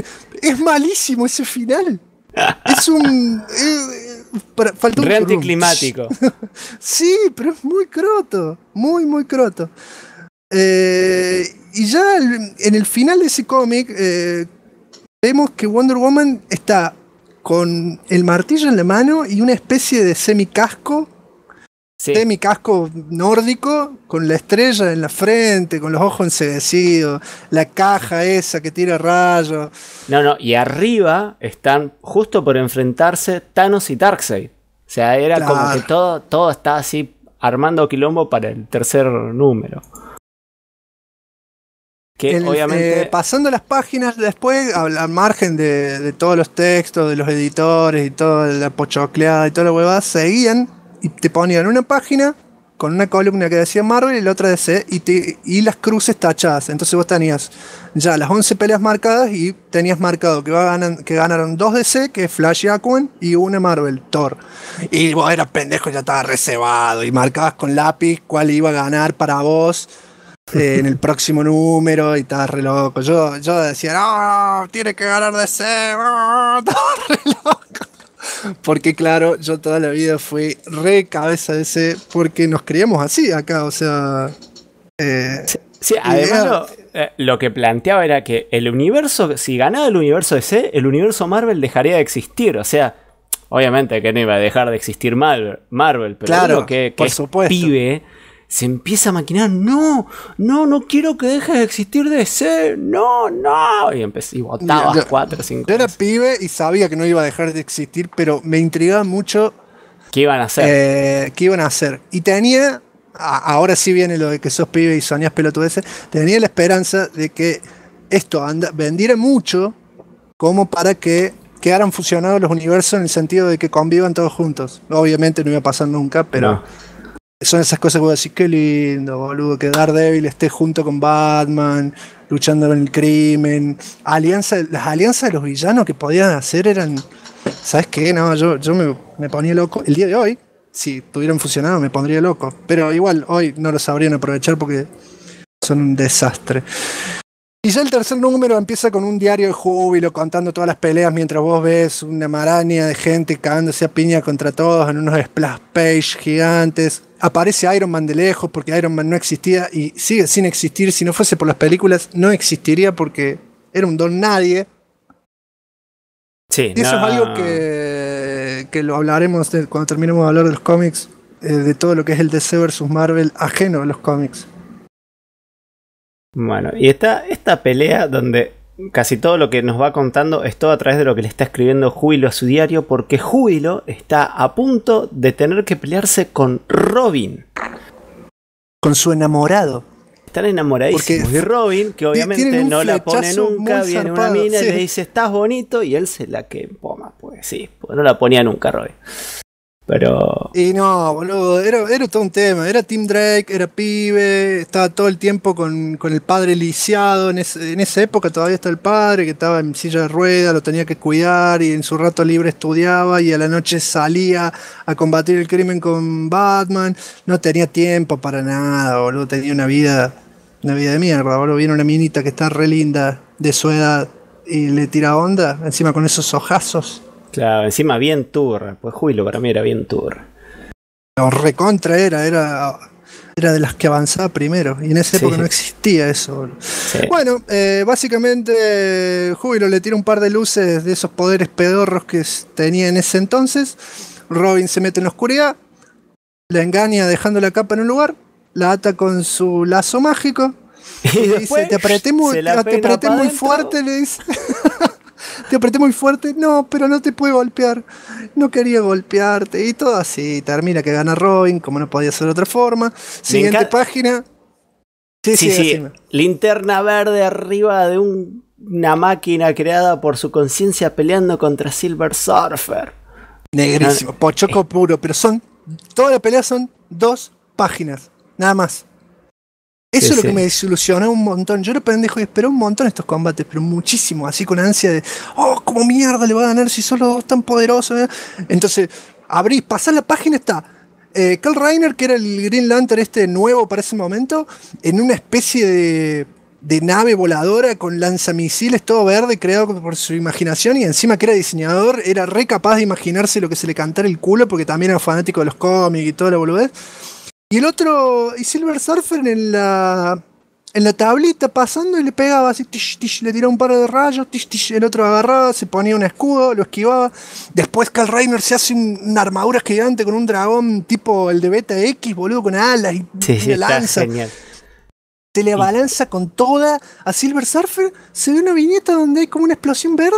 Y la, la viñeta final es Silver Surfer parado en la tabla con el otro derrotado. La victoria es mía, dice Silver Surfer. pero Una nunca posta. lamenté tanto la derrota de un oponente. Pero uno esperaba algo re grosso y era una hermana. bosta, boludo. Y después el otro combate también. En ese momento yo no, no tenía mucha idea de quién era Electra, pero sabía que era una asesina y bla, bla, bla. Y pelea contra Catwoman. Contra la Catwoman que más me gusta, boludo. ¿Cómo me gusta ese traje de Catwoman, boludo? Es, es hermoso. Que es el, es el que apareció primero en un largo Halloween. Y eh, bueno, también si alguno tiene el Batman Arkham City completo, es uno de los trajes que puedes usar y tiene todo marcadito así re. ¿Este traje en Arkham City? No. Sí, el de un largo Halloween, sí. Pero no es. ah, no, este no es ese, no, el de un largo Halloween es todo enterizo. Razón, Claro, este no, se no, parece, sí, sí. pero no es así. Claro, no, este es el noventoso lindo que tiene las botas negras, los guantes negros, El- el pelo suelto atrás a pesar de la máscara, la- Sí, las orejitas. No, no, es impresionante. Es, es casi como si Catherine estuviera adentro. Pero Por supuesto. No. No, no bueno, y se cagan a, se cagan, uno le hará, gato la araña, el otro le tira el sai, el otro le tira el lazo, dando un par de vueltas y, y gana Electra cortándole el lazo. También dos páginas muy flojas, muy flojas, peleas re simples. Como algo que vos también esperabas mucho, quizás no por estos personajes, porque para ese momento, si bien Electra tenía bastante rating, por llamarlo de alguna forma, no era algo que te volvía loco que pelear contra Gatúbela. Y esperabas más, siempre esperabas más y nada. Al No, mismo tiempo es como... sí. Aparte de mirarlo así, vos, en este caso, vos no conocías a Electra y esto no te llevaba a querer leer más de la mina. Pues no era que te quedaba así la, No, nada, no te mostraba un choto del personaje, no te dan ganas de comprarte un cómic de Electra, boludo. Si no mostraba qué lo que era, no, no había desarrollo de nada. Al mismo tiempo veíamos como eh, Peter Parker, que, que en ese momento era Ben Reilly, se quería levantar a Lois Lane y llega justo Clark, así le para el carro. Sí, sí, mal. mal. Mientras Jonah Jameson, la- porque Jonah Jameson está en el periódico, en Eso- el eso- planeta. Sí, eso es algo con lo que arranca ya, o sea, en el que se habían empezado a fusionar los universos, que eso no, no lo comentamos, y es que alguien compró el diario El Planeta y sacó a Perry White y puso a JJ Jameson como el nuevo editor. Eso es algo que está en el cómic y que seguramente se desarrolla más en, la, en lo que siguió, que yo, yo obviamente esa parte todavía no la toqué, yo toqué más que nada Marvel, solamente Marvel vs. DC, eh, de cómo es que el tipo llegó ahí y demás, pero después sabemos que después en el final ya sabemos quién es el que compró el de Aro. Sí, pero neta. igual eso no lo desarrollan en ningún lado, ¿eh? Ah, se queda acá y después no pasa en el... Son todas cosas que quedan acá porque no está. Esto no es una fusión completa. Ah, esto es como que están tenés compartiendo universo. Tenés razón. Acá es como si hubiera un solo planeta en vez de dos. Y están todos juntos en el mismo planeta. Por eso cuando ves imágenes, hay una imagen que está llegando Superman al diario Planeta y atrás está el edificio de los Cuatro Fantásticos.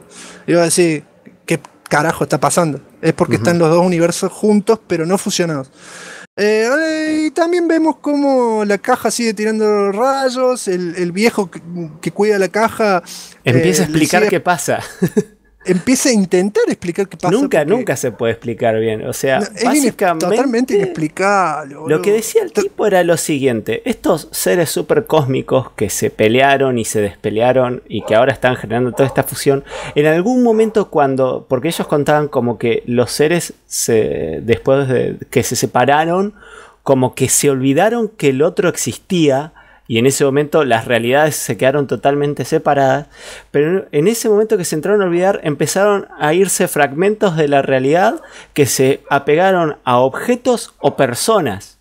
Y él es una de esas personas que está cuidando uno de esos objetos, que es la caja, porque él, eh, al tener este pedazo de, de- de fragmento de- interdimensional, podía imaginarlo así como una caja, esa fisura en la realidad.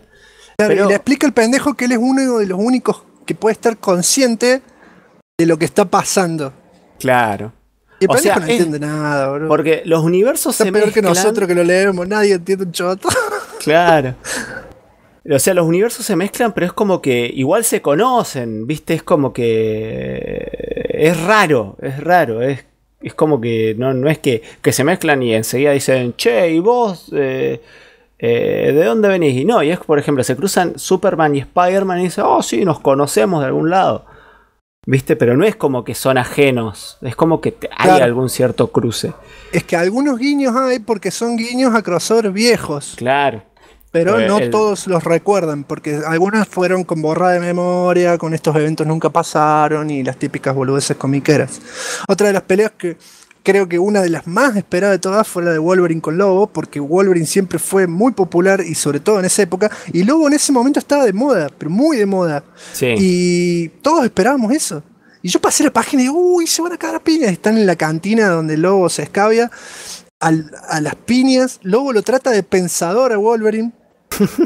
Le clava un garfio. Wolverine se lo saca el garfio al gancho ese.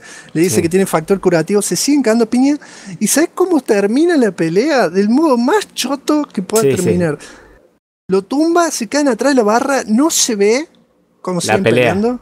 No, no se ve más. Levanta, se, ve que se asoma el brazo de Wolverine, agarra la mano y le pega una seca. Eso es todo.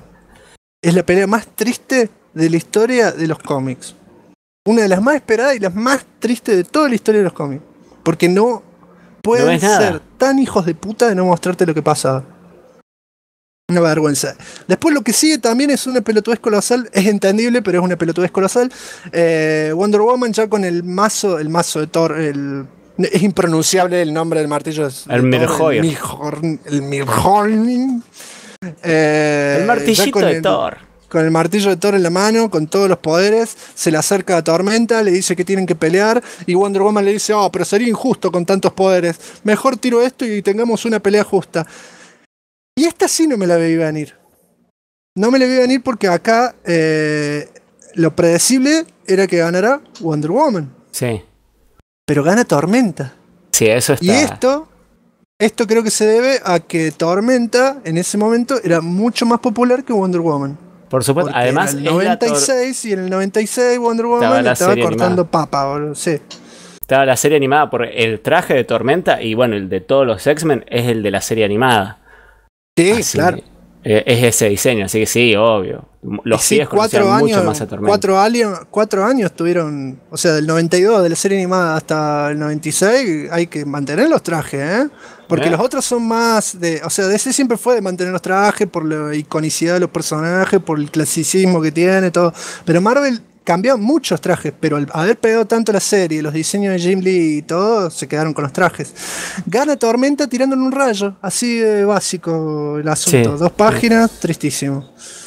Aparte me, pare- después- me parece sí. re mal resuelto, porque vamos a ser sinceros, o sea, Wonder Woman tiene poderes no como los de Superman, pero Pero esa más debe abajo. ser una de las peleas que decidió el público. Obvio, sí, por eso, pero me parece que está re mal decidido, pero está re mal. o es sea, que por- eh, todos los guiones para esto era un desastre. O sea, eh, es po- si bien es pochoclo este, eh, extremo, se puede desarrollar bien. Lo podés contar mejor. Hasta narrativamente podés hacer una pelea más creíble. La siguiente pelea es la de Superboy, el Superboy del reinado de los Supermanes, el clon de Clark Kent, etc. contra Spider-Man. ¿Y vos qué esperas? Que gane. Spider-Man. y sí, por supuesto. Y gana bueno, gana, Spider-Man. gana Spider-Man. Acá por lo menos le dan cuatro páginas, no dos. Pero la pelea es boludísima. Es Sí. re boluda la pelea. Y lo deja como un pelotudazo a Superboy, como un nene de mamá. Y Superboy, si bien era un nene de mamá, por ahí tenía arranques de pensitud, boludo. O sea, el chabón pensaba un poco. Era de engañarte con un par de amagues. O sea, te- tenía algo de chispa. Acá es un imbécil que se tira contra un tanque, el otro lo engaña, atrás del tanque había electricidad y se cae electrocutando. Una boludez. Sí, terrible. Eh, la siguiente pelea, la verdad que también, o sea, es una pelea que todos queremos ver. Es más, hay un video en YouTube que si lo buscan de un animador que parece que la viene animando de a pedacitos hace años, que es Superman Sí. vs. Hulk. Que a mí me 200 gusta, años que la está animando. sí, sí, el, me gusta porque arranca con Hulk recagando trompadas a Metalo. Se cruza con Superman y dice, oh, me parece que nos va a tocar pelear a nosotros. Sí, y, viene Metalo corriendo a pegarle a los dos y los dos le pegan una trompada y lo noquean, ¿viste? Esto, esto sigue siendo el cómic, ¿eh? Le digo a la Obvio. gente, no es el video de YouTube. No, no, por eso, esto es el cómic. O sea, el video de YouTube, búsquenlo aparte. Eh, bueno, y arranca la pelea y obviamente eh, también le hicieron de cuatro páginas. Eh, todo así, mucho, mucho, pero mucho pochoclo, mucha piña van, piña vienen. Y obvio que la, pelea da como ganadora a Superman, después de que le mete una super trompada a, Hulk, ¿no? Y lo deja enterrado en el piso. Y sí, porque no, no le dio la cabeza para hacer más que trompadas de una, sin ningún tipo de estrategia de nada. Y eso que pusieron el Hulk de ese entonces, que también pensaba. de Peter David, que pensaba que tenía a Bruce Banner en la cabeza con directivas. Alguien que puede haber creado cualquier tipo de estrategia, pero no. Era ¡Oh! Hulk destruye a la mierda. Y la pelea que yo más esperaba de todas, porque en ese momento estaba estupidizado con Batman, y siempre me gustó mucho Batman, pero en ese momento era como ¡Ah, Batman! Era Batman contra el Capi América. Y la pelea es mano a mano, en las alcantarillas, está buena, empieza bien, hasta que la típica de Batman em-, le empieza a hablar diciéndole que esta pelea no va, a durar eternamente porque los dos son re estrategas para pelear mano a mano, porque eh, va a ganar el primero que se canse y lo convence de que tienen que encontrar alguna forma para que eh, no se vaya uno de los universos al tacho. Y el Capi América le dice que no se puede, que va a ser imposible porque si pierden tiempo en no pelear, los van a juzgar de la misma forma. Y ahí uno le está por tirar el escudo a Batman, o sea, el Capi le está por tirar el escudo a Batman y Batman está por tirar un bataranga al Capi. Dale agua de otra alcantarilla de un drenaje del lado y de casualidad Batman le atina el batarang y se empieza a inundar todo, se ahogan, Batman rescata al Capi, salen los dos, pero no termina todo ahí.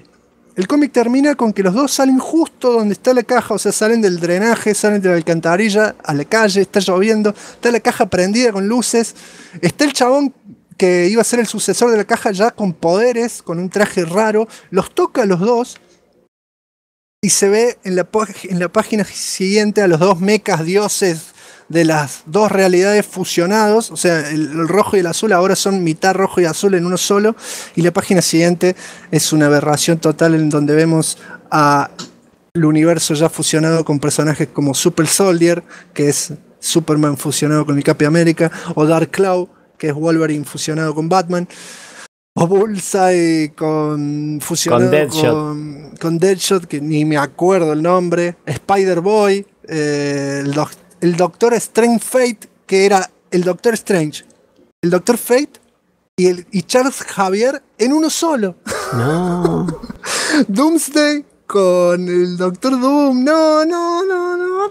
Y ya, ya, yo me recebe si bien el dibujo ese es una garcha y los personajes no son muy interesantes, yo estaba reservado. Porque algo que también me gustaba mucho de chico y lo hacía era fusionar personajes en el colegio. Yo estaba en el colegio y en vez de estudiar, estaba dibujando todo el día como un boludo y me ponía a fusionar yo los personajes. Y Cloud lo inventé yo antes que de Seymour.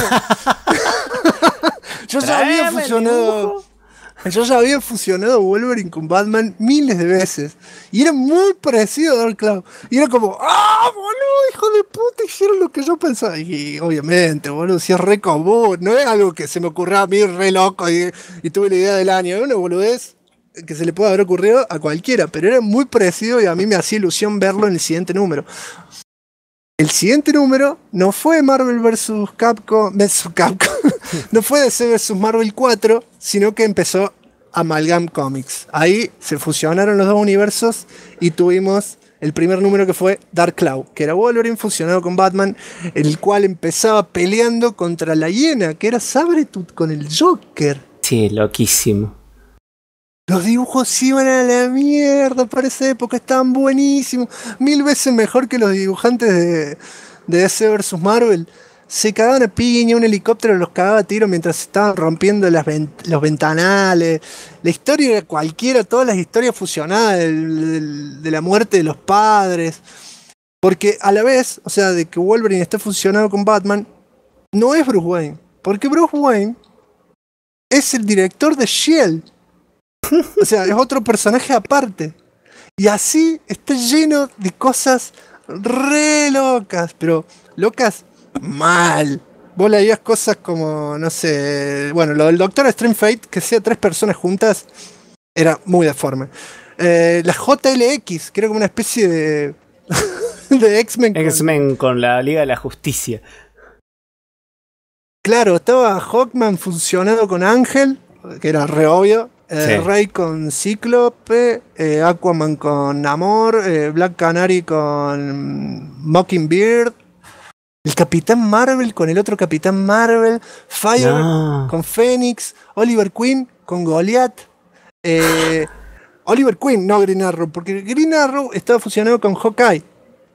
Sí, pero. y o sea, pero eh, era otro. sin la careta era Clint Barton, que era el que estaba atrás de Hawkeye. Sí, sí, separaban los personajes, o sea, separaban las identidades, funcionaban cuando se les cantó la chota.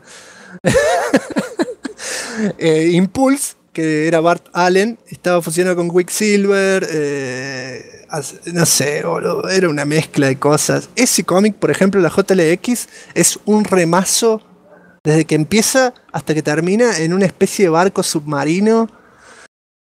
El super soldado, la historia esa que está fusionando Superman con el Capitán América, toda la historia de los nazis mezclada con la historia de Clark Kent, No. no. bizarrísimo, bizarrísimo, pero bizarro mal.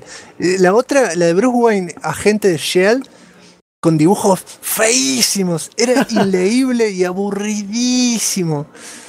Nightwing fusionado con Moon Knight. No, no, no. Eh, después tenías, bueno, ballet, eh, balas y brazaletes, Magneto y los Magnetic Men, que vendría a ser eh, los... los Boludo, suena a nombre de cumbia barato, boludo. Los Ah, Magnetic pero Men. sí. Eh, vendrían a ser los. ¿Cómo se llamaban los chabones estos? Los cinco de. que eran los elementos. Los elementos químicos. No me voy a acordar ahora. No, se eh. mataste, mataste, no, no me acuerdo. Eh, sí, son muy. son viejos, son re específicos, ahora no me acuerdo, pero. eh, Speed Demon. También, Speed Demon eran como tres personajes juntos. Estaba Ghost Rider con Demon, pero también era una de las dos entidades al mismo tiempo. Estaba el, fusionado el Merlin de DC con el Merlin de Marvel. Mr. Miracle con Cristal. Oberon con Pac. eh, Plastic Man con Sadman. Con el Sadman de Marvel. No, era como. Mira, el- el- yo me imagino el coeditor de DC los dos coeditores de DC Marvel juntos cagándose a abrazos mientras estaban escabiadas. "Bueno, acá tenemos la lista de personajes. ¿Quién quiere tal? Yo. ¿Y vos cuál quiere tal? ¿Lo fusionemos con cuál? Con este. Sí. Ah. Se me pegaban tres líneas de merca así. ¡Ah, no! Eh, sí, lo juntamos así- al Doctor Xavier y... ¡ah! Así re loco. Ex, ex Patrol estaba Spider-Boy con unos dibujos que estaban re buenos, pero era un desastre. Generación X, pero con H. Lobo de Duck, que era eh, Howard de Duck, el pato, fusionado con Lobo. No, Quiero ser un pato no. todo diabólico, todo re loco. Ese estaba bueno, ese sí estaba bueno. Había cosas que por ahí eran tan bizarras que eh, se pasaban. Iron Lantern eh, era como una fusión de Guy Gardner con el universo también DC, pero con todos los otros personajes fusionados: de Magnetic Man, Futuring Magneto, eh, Spider-Man, Spider-Boy, Teen Up, Torion and the New Arts God. eh, después se entraron a mezclar entre ellos. El tema es que toda esta maraña de inventos que era divertido de, de ver qué fusionaban con qué, la mayoría de los guiones eran flojos. Era divertido ver qué querían hacer, cómo se fusionaban, cuál con cuál, pero nada más. Porque era una garcha, eran todos números uno y encima los números uno, cuando vos lo ibas leyendo, llegabas una viñeta que decía, hablaban de algo, hacían referencia a algo que había ocurrido hace mucho y decían, para ver esto tenés que leer el número 75 de Spider Ballets 57, que un número que no existe, porque nunca salió. Estaba lleno, era como si fuesen cómics reales sobre cosas, como otro mundo aparte. Claro, sí, sí. Y- Es como si un pedazo de otro universo hubiera entrado en el nuestro, era el chiste. Claro. Sí, pero era, era flojo, era muy flojo. Yo, como era un enfermo en ese momento, compré la mayoría y era divertido, pero hoy los ves y son un desastre, son un desastre. La mayoría son dibujos feos. Bien noventas así, por más colores chillones que le hubieran puesto, no, no, no, no, no iba para ningún lado. Algunos zafan, algunos son destacables en algún dibujo, otros en, en, lo bizarro, porque son tan bizarros que, que te copa. Pero en general eran todos números uno que no llevaban a ningún lado hasta que se hartaron de sacar números y sacaron la cuarta parte de DC vs Marvel, donde eh, ves que está Dark Cloud pe- peleando con la hiena Sí. y se mete el super soldado en el medio, ves que se está muriendo el guardián de la caja, el viejo, eh, mientras el tribunal, eh, el living tribunal de Marvel está agarrando el espectro de la mano tratando de que no se vaya toda la realidad a la mierda, porque ya están fusionados, pero es como que uno de los dos se va a morir. Acá, acá lo, que, lo que explicaban era que si bien todo el mundo creía que lo que había pasado era que se habían fusionado los dos hermanos, en realidad era que los que estaban sosteniendo la, esa realidad que vivían ahora eran el espectro y el, y el jurado que estaban así, ellos estaban generando la fusión para que no se vaya toda la mierda. Claro, porque si se soltaban uno de los dos iba a la mierda. La cosa es que el guardián, el nuevo guardián, o casualidad, está justo al lado de la pelea de, de Wolverine, de Dark Cloud con la hiena ah, y del Super Soldier. Y estos dos pibes le dicen, ¿dónde está la hiena? Tenemos que rescatar, eh, tenemos que bajarla, digamos, o sea, derrotarla porque es peligroso. El pibe este guardián nuevo, con su super traje con hombreras noventosas, agarra a los dos, porque los tiene a mano, y ahí se va toda la mierda y desaparece la fusión eh, por arte de magia, porque es todo así este cómic, y ya vuelven todos a la normalidad, todos juntos, pero a la normalidad. Entonces volvemos a ver a Hulk separado del otro, Batman separado de Wolverine etcétera. Y vemos un par de team ups eh, donde qué sé yo están lo- los hombres topo en la baticueva Superman tratando de derrotarlo llega Hulk lo ayuda y todas esas boludeces que son lindas cuando eras chico y hoy te dan angustia. Luego vemos a los dos dioses de las realidades enojados tirándose poderes entre Espadazos. planetas Sí, sí, es terrible. Sí, no, y ahí, ahí sale lo que vos ibas a contar del diario Planet. Claro, está ahí es donde White. vemos por fin que quién es el que había comprado eh, el diario El Planeta y no es otro que Wilson Fisk, el Kingpin. Que por eso, y yo la verdad que no entiendo. Yo, o sea, se, fusionaron las realidades. El tipo va, se compra el planeta, lo echa la mierda a Perry White. Y hay una escena, en esta escena se ven Perry White y J. J. Jameson hablándole. Y obviamente aquí entra Spider-Man. Lo recaga a trompadas, aparece Superboy, lo levanta del culo a Fisk y lo revolea a la concha de su hermana. Y dice eh, Spider-Man, después de que lo, lo salva Superboy, dice, típico, le dé una y encima nadie me hace caso. Porque Spider-Man en ese momento era Ben Reilly, que era un clon, y ese es otro quilombo aparte. Y obviamente en ese momento te pone un cuadrito de que Robin está con júbilo, dando vueltas en Venecia y chapando en una góndola. Eso es lo mejor de todo ese versus Marvel, boludo. Después más remazos pochocleros, todo piña, quilombo. Es una. Es triste. Ya cuando la realidad se está yendo a la mierda, empieza a llover una especie de. No sé Como que qué se entra a derretir la realidad. Una Sí, cosa se entra a derretir la realidad, caen como las nubes, como si fuesen líquidas. Y lo, lo peor de todo es el final, porque es cualquiera. Se están cagando espadazos. eh, realidad versus realidad de Marvel y DC, digamos, los hermanos, rojo versus azul, Dios versus Dios, Mecha versus Mecha. Está el nuevo guardián junto al Capitán América y a Batman mirando todo. Sí, porque los Y- lleva, los lleva porque dicen, no, tenemos que hacer algo, bueno, vamos, no hacen una pija. No hacen nada. Mientras están, mientras se están cagando espadazos en el medio de la realidad, el espectro está tratando de parar una de las espadas y el Living Tribunal está tratando de parar la otra espada. Y, y el guardián lo lleva a Batman y al Capi América al, al lado de los gigantescos dioses. Esto los lleva para ver si pueden frenar algo. Y esto, ¿vos sabés explicar en qué termina esto? Porque es cualquiera. Yo no sé cómo explicarlo. Mira, la cosa es que está, en realidad, encima lo peor de todo es que es como que lo que están hablando que todo esto no es que está pasando en realidad, sino que está pasando dentro de sus propias conciencias. Una cosa rarísima. Y que no solamente ellos lo pueden ver, sino que lo pueden ver todos, lo pueden ver todos los que están implicados en el tema de la fusión del universo y que hay una hay una una página donde vemos varios personajes como que se dan cuenta de lo que está pasando y hay un y Thanos festeja porque es un enfermo. me encanta, me encanta porque porque Thanos tiene una cara así de que se clavó dos pepas y dice es lo más hermoso que he visto jamás. Dice, ese es un enfermo.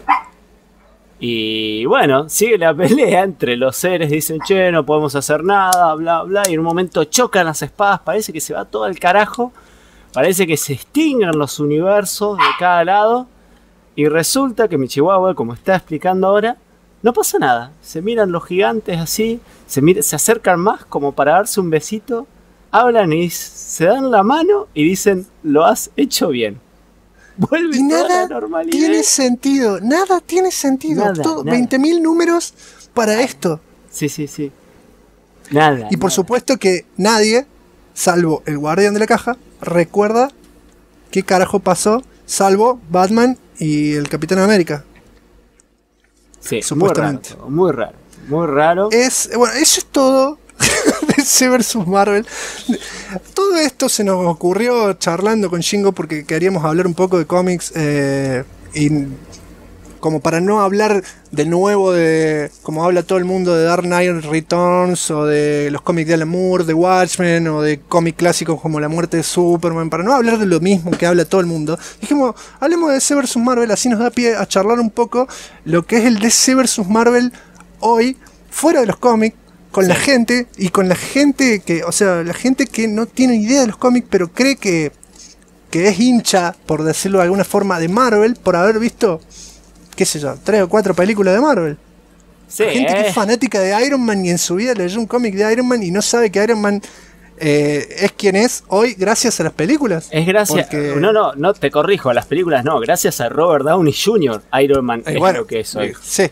Si hubieran puesto a otro actor, eh, no, es más, no tendríamos el universo Marvel. Porque si no fuera porque eh, Robert Downey Jr. le dio esa impronta a la película que él tanto tiene, le dio un personaje, o sea, demostró que podía existir un personaje fuerte dentro de una película de un género que está hasta ese momento seguía siendo considerado para chicos. Pero, espera, espera, espera, espera, no digas que es gracias a él que está todo el universo Marvel, porque ya había tres pelis de Spider-Man, ya había No, dos obvio, pelis de X-Men, eh, ya había un Marvel, está bien que Sony, Fox y todos esos quilombos, pero bueno, ya había pero un a universo. lo que me refiero es a que eh, dio pie a que se creara todo lo que todo el, todo el universo de Marvel de películas de ahora, que es lo que el está viendo ligado, todo el mundo. Claro, Claro. todo esto que, que- que estamos viendo ahora arrancó con Iron Man. Y si Iron Man hubiera- no hubiera tenido la fuerza, pues vamos a ser sinceros, está muy buena la película, pero no es una película fuerte, fuerte en sí. Pues después le siguió Hulk, que incluso teniéndolo al capo de Edward Norton, esa Hulk está buena, a mí me gusta, pero no le fue tan bien como Iron Man, no fue tan pochoclera, por así decirlo. Pero claro, Iron Man es muy redonda en cuestión de ritmo, en cuestión de, Sí, de- sí, sí. del carisma que tiene Robbie Downey Jr., la onda, la banda sonora de ACDC, le han puesto mucho... Mucho, está mucho muy bien tiempo. dirigida, le está muy bien dirigida y ya venía con la premisa, le fuera bien o mal, de que iban a hacer el universo ligado, o sea, de que iban a ligar con el resto de todas las películas que Claro, vinieron después. Pero hubiera sido más difícil si esa película no hubiera recaudado plata. Pero más allá de eso, yo por ejemplo, yo tengo un amigo muy íntimo del, con, con vos, creo que en algún momento te hablé de él por otros temas, eh, que no vamos a, a mencionar en este momento, pero que por ejemplo en su vida vio ni siquiera el dibujito de Iron Man, ¿te acuerdas del dibujito de los 90? Que salía el chabón. ¡ay! Ay, em, Iron Man". Iron Man. eh, donde el- eh, un, un Tony Stark con muy poca personalidad se ponía 300 trajes de Iron Man que estaban hechos para venderte 350 muñecos. Eh, bueno, eh, ni eso conocía, pero empezó a ver las películas de Iron Man y se recopó y andaba todo el día y se hacía el casco de Iron Man y qué sé yo. Y todo eso lo trajo la película, pero él nunca leyó, nunca supo que, por ejemplo, que Tony Stark eh, en casi toda su vida comiquera eh, siempre fue un personaje de segunda que nunca tuvo una muy buena personalidad y que siempre, o sea, terminó tan mal que en un momento ya lo estaban, ya lo habían, lo estaban por matar o lo mataron, creo que en algún momento. Y en un en un momento estuvo de chupi, estuvo todo mal ese personaje. Eh, Y esas son las mejores, las pocas buenas historias de, de Iron Man. que tienen que ver más con el lado humano que con el lado superheroico, porque del lado del personaje era un forro, era un millonario forro. Era, este, no, era- no eran divertidas las historias, a pesar de que sean distintas al resto de otras historias. eh, era aburrido de leer. eh. Yo tengo algunos cómics y nunca nunca pasé del número 2, o sea, no, no, no, no engancha. No, no engancha. No es como algo personal mío, como con Thor, que es algo que por lo general me aburre porque me aburre, pero porque no, es con gusto. Sé que hay cosas buenas de Thor y he leído cosas buenas, pero a mí me aburre el tema. Pero con Iron Man no es solamente eh, que, que a mí no me gusta el tema, sino que el tema puede estar bueno, pero está mal contado. Le falta. Claro. Sí, sí, sí. Eh, es muy, muy, muy, muy, o sea, muy, eh, muy... El caso de Iron Man es muy específico, digamos, porque, vamos a ser sinceros, es un superhéroe segundo que en ese momento no se le estaba dando mucha bola, lo hicieron explotar, y ahí es que la gente se empezó a enganchar. Y empezó a aparecer un montón de gente que, que ahora ah, es fanática de Marvel por las películas, y empieza a ver las películas de DC, y no, porque DC está haciendo unas películas de mierda, bla, bla. Eh, yo puedo opinar lo que opino sobre las películas, no creo que sea culpa de DC, pues si bien DC personalmente lo que está haciendo con las películas no me ha gustado hasta ahora, eh, igual siguen recaudando plata, por supuesto, pero me está gustando mucho lo que están haciendo con las series de televisión, por ejemplo. Claro, Eh, y lo que hicieron toda su vida con las series animadas y las pelis animadas, que son millones de veces mejores que las de Marvel. Y si bien Marvel, como ya hablamos en otro podcast de las series animadas, tiene series muy buenas animadas y tiene alguna que otra película muy buena animada, eh, no le llega a los talones a las cosas que hace DC en el mundo animado. Y lo mismo pasa por, con las series live action. La serie live action, Arrow empezó más o menos, se puso buenísima. Gotham empezó más o menos, ahora se está poniendo muy buena. Flash empezó bien y sigue muy bien. ¿Y qué tenemos del otro lado? Tenemos eh, Marvel Ag- Agentes de Shield, Shield y... que yo vi eh, hasta el 4 y el 4 lo vi cuatro veces porque me dormí cuatro veces. Lo, posta, o sea, veía 10 minutos me dormía. Digo, bueno, retomo de donde dejé. 10 minutos me dormía. No lo pude volver a ver. Y Agent, eh, Agent Carter todavía no la vi, pero no me dan muchas ganas de verla todavía No. porque no me, no me, no me la venden. No, no, a No mí, me lo venden a mí- como venden las tampoco. películas. Eh, me gusta todo esto, el universo expandido de Marvel de las películas, pero creo que arrancar con Agents of Shield.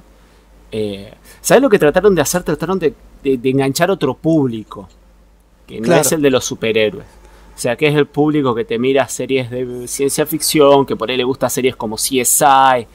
eh, eh, apuntaron a, a- a- a lo seguro, si vamos al caso, ¿sí? Claro. Porque si vos arrancás de choque mostrando superhéroes y quilombo, eh, te puede pasar como eh, lo que casi le, puede llegar, le pudo haber pasado a eh, DC con Arrow. Arrow arrancó eh, apuntando al público que le gustaban un poco los superhéroes, pero tiraba un poco para todo esto teenager de los quilombos con las minas, la porona. Claro, bla, bla. tipo, tipo la mejor parte de Smallville, digamos. O sea, superhéroe, pero sin dejar de lado eh, el boludeo típico de serie yankee para adolescentes. Claro, pero eso es algo que te puede durar una, dos temporadas. Después vos tenés que empezar a, a escarbar dentro de los personajes. Eso que creo que es algo que por ahí Smallville fue lo que siempre me, me- me dejó con ganas.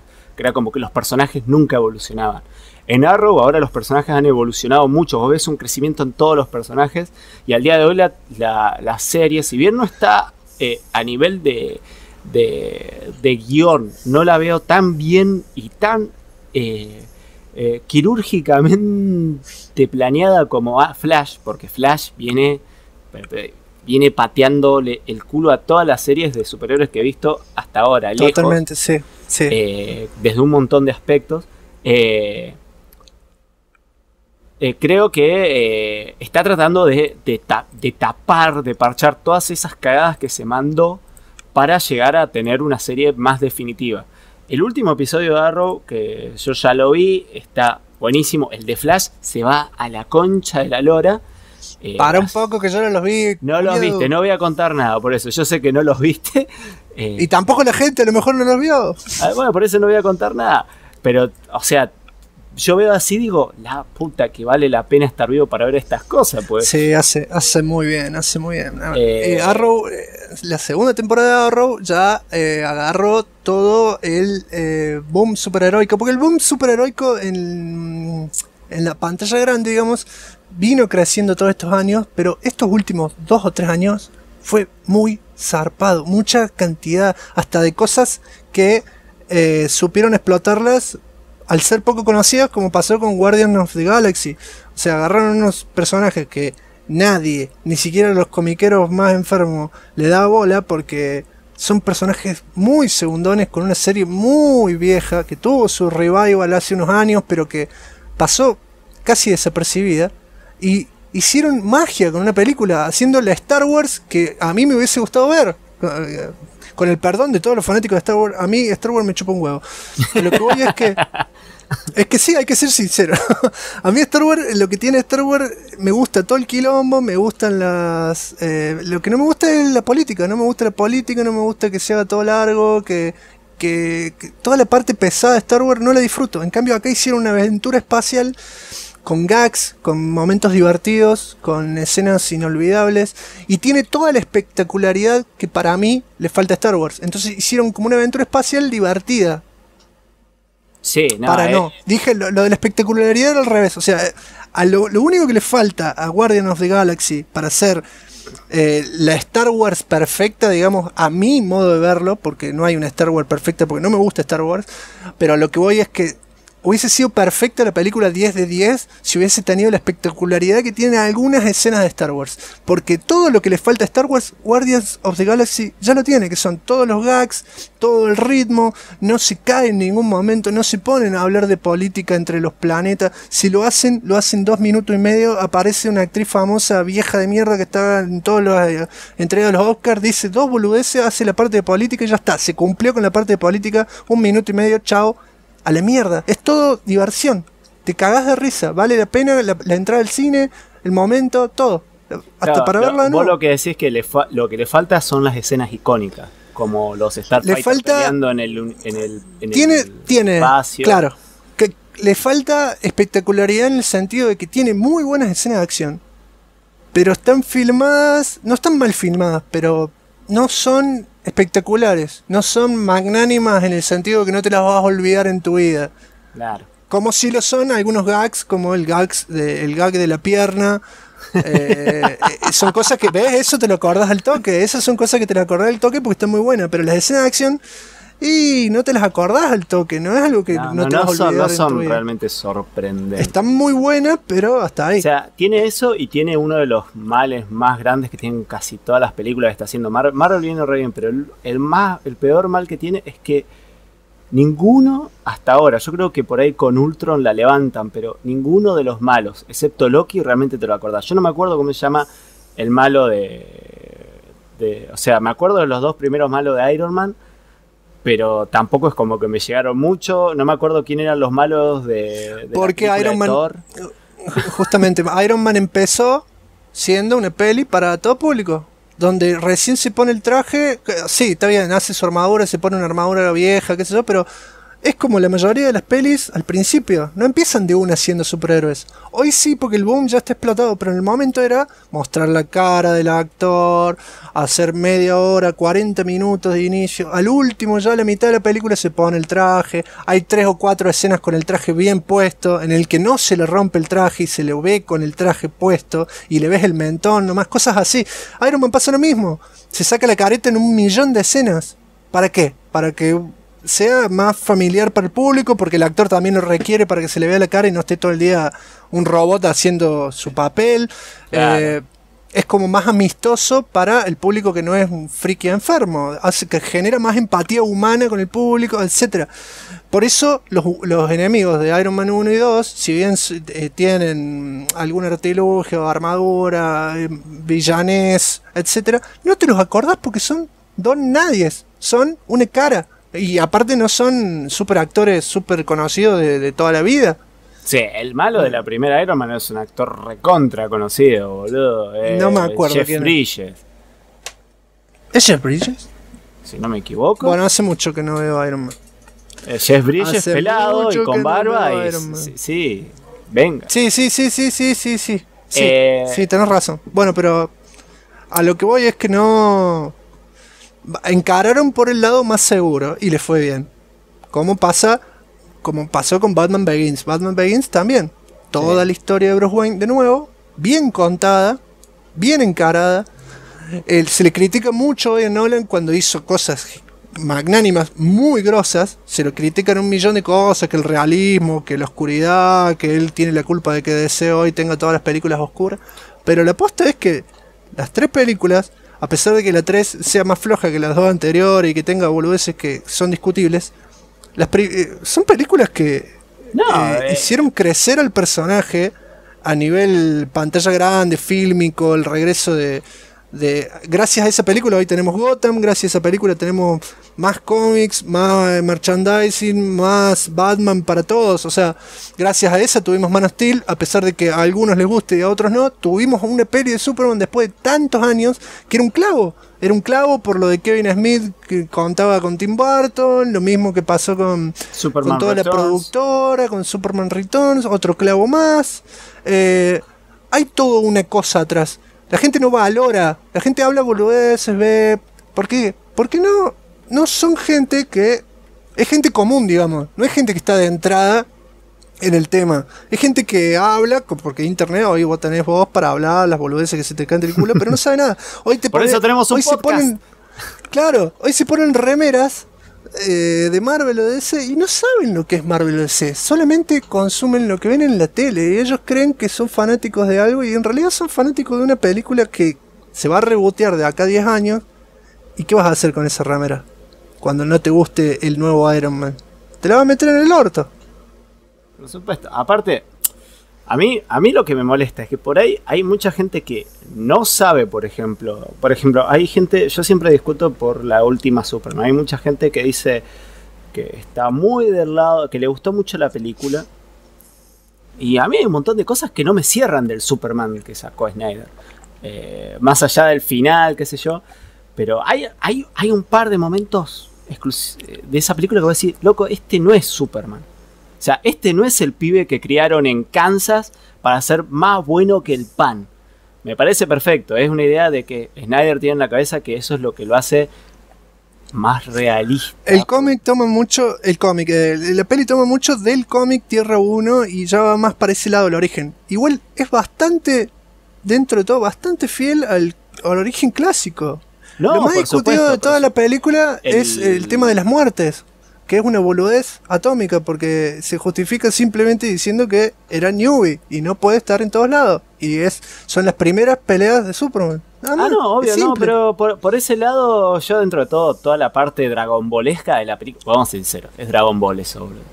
Todas las peleas son sí. re Dragon Ballescas, a mí me ponían la pichula recontra redura.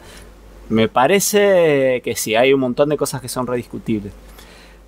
El tema es que vos me decís, bueno, está basado en Tierra 1, pero hay, hay un legado de Superman que viene hace más de 75 años y que creó un personaje X, que el personaje que el 90% del- de los comiqueros quiere es el Superman Boy Scout. Es el Superman que tienen casi todos estos tipos en la cabeza. El Superman que cuando Lex Luthor hacía, llevaba la, la- quería tirar la, la Estatua de la Libertad arriba de Nueva York, él iba y la levantaba, ¿viste? Antes de que cayera. Eh, No era Claro. Nueva York, pero de otro lado. Pues Metrópolis. Yo me acuerdo mm, que había una escena que tiraban una, algo- una copia de la Estatua de la Libertad arriba de Metrópolis y iba Superman, la levantaba. Eh, e- era el tipo que se preocupaba por todos. Y en esta película como que te dicen que no, que como es nuevo no se da cuenta.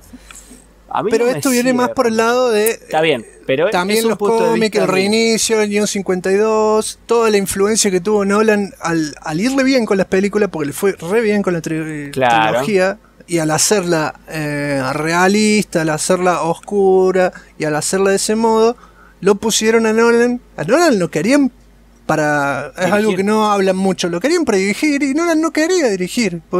No quería y, y quedó igual atrás, y se renota que está re atrás de la película Nolan, pero hay un montón de cosas que contradicen lo que, que lo que hubiese hecho Nolan. porque no la dirige él y se nota que no la dirige él. Sí, Hubiese sí, sido otra película totalmente distinta.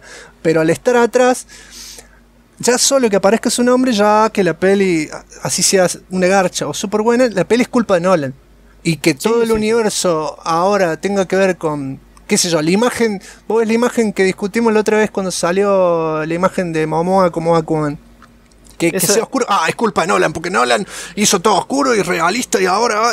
Es que en no, realidad, no yo por ejemplo, a vos, a te dicen, es todo oscuro y realista. No, por ejemplo, Nolan vos ves otras películas de él y no son todas como Batman Begins. Creo que lo que tiene, lo único que va llevando de una película a otra es la banda sonora. A mí las bandas sonoras de, de una película de Nolan a la otra me parecen iguales, pero en la forma en la que No, filman me parecen bastante diferentes. Pero eh, ponele, eh, el tema es que Batman, ¿por qué es oscuro? Porque, vamos a ser sinceros, es un cómico oscuro y siempre fue así. Pero por Y supuesto. Estás, eh, las bases del personaje es, en, eh, es un personaje que no tiene superpoderes, eh, que utiliza su inteligencia. Es un- eh, Batman es un detective con capucha. Eh, ese es el Batman que nació en los cómics de los años 30 y que renació con, con The Dark Knight. Después de todos los quilombos que hubo y es el que más o menos se trata de mantener ahora, ¿no? Con toda la tecnología detrás y demás. Por eso es que le sentó también lo que le impuso Nolan encima, toda esa realidad, toda esa, todo, todo, todo ese dark and gritty, ¿no? Lo que se discute también es eh, al, al hacer. eh, el tema es que en- del lado del Marvel, Iron Man empieza, como dijiste vos, con la movida de eh, que esté todo ligado. A pesar de que no tengan la liga. Es que esté todo ligado. Para, Entonces pa, tienen, para, pa. tienen eh, Iron Man, qué sé yo, que empieza con los chascarrillos, con la joda, con, con el tema de que sea todo más light, que, que sean superhéroes, pero que muestren más el lado humano, que salgan con las minas, que no tiene el lado eh, de seriedad ni realismo que suele tener, que tienen las pelis de Nolan y tiene que no tiene y que tiene también Superman de Man of Steel, etcétera. Entonces esto hace que después salga eh, ¿qué vino después de Iron Man? Thor, también. ¿Qué esperaba yo de Thor? Una película aburrida. ¿Por qué? Porque a mí me chupó un huevo Thor. ¿Qué fui a hacer? Fui el día del estreno y la vi. Me cagué de risa. Porque Y la sí. pasé re bien. Porque la hicieron divertida y la hicieron para todo público. No es una guerra de asgarianos contra lo- los tipos de los monstruos de hielo peleando toda la película y hablando de política asgariana con los dioses nórdicos de la pinta. No, no, no. Es una película divertida, que tiene algo de humor, está bien contada para todo público. No, obviamente Thor no tiene el casco en casi toda la puta película, porque es lo mismo que hablamos antes de Iron Man. Después que hicieron de... Después de Thor, ¿qué hicieron? Capitán América. Claro, el Capitán América. Otra, también, súper contada desde el principio hasta el final. Toda contada con la cara del Capitán América, donde el- la. ¿Cómo se llama? La careta, la máscara no la tiene puesta No. Toda la peli, ni la tiene puesta la mitad de la peli. La tiene puesta bastante, pero la mayoría de las veces también se saca, etcétera. Pero lo contaron también con mucho humor, jugando mucho con un ritmo. Después, bueno, siguieron saliendo mí- las películas. A mí personalmente, Capitán América, me sorprendió mucho la actuación del flaco que lo hace, de Chris Evans, porque eh, Chris Evans lo tenía siempre como eh, el, el primo no gracioso de Ryan Reynolds. Así venía Chris Evans con todas sus películas. Siempre Claro, haciendo bueno. de- del tipo del pendejo insoportable que hacía chistes, que se quería levantar las minitas. Y al chabón le sale tan bien hacer del tipo bueno. Pero le hace- muy bien, sí. hace- sí, es increíble eso. Es increíble. Que haya Por- pasado de, de hacer la película de celular a, a hacer el Capitán América también, boludo, es... Bueno, y después, bueno, de- después vimos Snowpiercer y dijimos, si el chabón aprendió a actuar. Aprendió totalmente, boludo. Hace de Jack the Lost en esa peli. El tema es que, obviando Ghost Rider 2, que dio bola, porque acá todos los Marvelitas, los Marvelitas acá se acuerdan de las lindas, pero de, de las pelis que no les gustaron ni las mencionan. Y eh, yo soy el que banca Ghost Rider 2, pero al margen, porque me caí de risa toda la película. Pero porque está nuestro Salió ídolo, boludo. Aguante, aguante. eh, Raiden. No, no, boludo, me sale el nombre del actor. ¡Ah! Christopher Lambert. Nicolas Cage. En Ghost Rider, Nicolas- Nicolas Cage. Así siempre. ¿No está Christopher Lambert? Claro, también. Christopher Lambert es uno de los así personajes extra. Ah, boludo. me- No, te entendí cualquier cosa. Ghost Rider. Dijiste en- Nicolas Cage y yo estaba pensando en Raiden. Y cuando vos decías Nicolas Cage, repetías Nicolas Cage, Nicolas Cage. Y yo pensaba en Johnny Cage. Y yo decía, pero no, no era Johnny Cage, era Raiden. Re enfermo, boludo. Bueno, eh, el tema es que voy. Esa, esa, mira, yo te voy a ser sincero. Yo vi la primera Ghost Rider y dije, ah, está, ok. Le falta, No, le no. falta. No, no. O sea, no me pareció re mala, pero dije, le falta para hacer la Ghost Rider el Esa, debe tráiler ser- de- esa después de Electra es la peor de todas. eh, vi, vi Ghost Rider, el trailer de la 2 y dije, no, se va a ir a la bosta. Y lo único bueno de, es- de la 2 son todas las partes donde está como loco eh, Nicolas Cage. boludo. Después, la- está- las escenas de acción me encantan, pero el resto de la película es un bodrio, boludo. Yo me cagué de risa toda la película, escenas chotas incluidas, boludo. Es muy graciosa. Estábamos con un amigo en el cine, nos reíamos y la gente también se reía, era cualquier cosa. La pasamos Claro. bien en serio. La 1 no, la 1 es inmirable eh, en su época, ahora, donde sea. A lo que voy es que sale Avengers y que haya hecho Whedon Avengers le suma todos los pluses que le pueda sumar, porque Whedon fue el tipo que toda su vida manejó perfectamente la interrelación de personajes. Sí. Y la relación, o sea, la, el manejo de los grupos que tiene Whedon no lo tiene nadie. Nadie maneja los grupos como él. Eh, te lo, viste en Buffy, lo viste en los cómics de X-Men, lo viste en todos lados. O sea, el tipo nació para manejar grupos y en Avengers el timing que tiene para contar lo que cuenta con tanta cantidad de personajes y si bien lo desarrollaron los personajes en otras películas, acá también desarrollan bastante lo que puede, con un montón, y es perfecto. Los tiempos son perfectos, la música es perfecta, las tomas con todos los Avengers es perfecta, las peleas individuales, las peleas grupales, es toda perfecta la película. Y ahí explotó Marvelandia. Con toda Sí, la gente que sí, fue sí, al la- cine, no tenía idea de quién era el Capitán no América, no tenía nada. idea de quién era Hawkeye. Imagínate que ni, ni idea quién es Scarlett Johansson, quién es el negro que dispara la flecha. No sabían nada. Nada No, sí, sí, yo por ejemplo, yo fui con mi novia. Mi novia le gustan las películas de superhéroes, pero ella no lee cómics, ni va a leer jamás en su vida cómics, así como yo jamás en su vida voy a leer uno de los 15.000 libros que ella tiene. O sea, en ese sentido somos muy- Pero a ella le gustan mucho los, lo- la- las películas de superhéroes y fuimos a ver esta. Y después obviamente pregunta, ¿y quién es la viuda negra? Y le tenía que explicar de dónde venía la, la, viuda negra, de dónde había aparecido primero, que primero estaba en, en, Iron Man, en el cómic, y bla, bla, o quién era Hawkeye, bla, bla. Pues no tienen ni idea.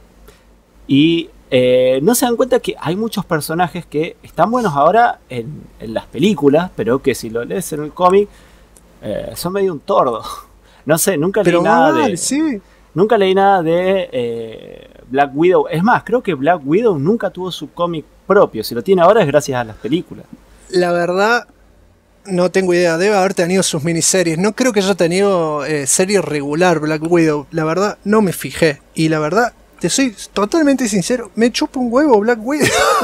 me chupa ¿Qué te un huevo mal, pasa? ¿No viste el pan No dulce que tiene Black mínimo. Todas las Widow, veces que lo vi, todas las veces que la vi estaba de, de segundona con Shell o tenía alguna relación en algún cómic, aparecía, se cagaban a piña, pero eran cosas esporádicas, así, de vez en cuando. No, no tenía mucho. Igual yo te estoy hablando de, de hace 10 años para atrás, o sea, todos Claro. estos últimos años, todos los reboots, todas esas boludeces.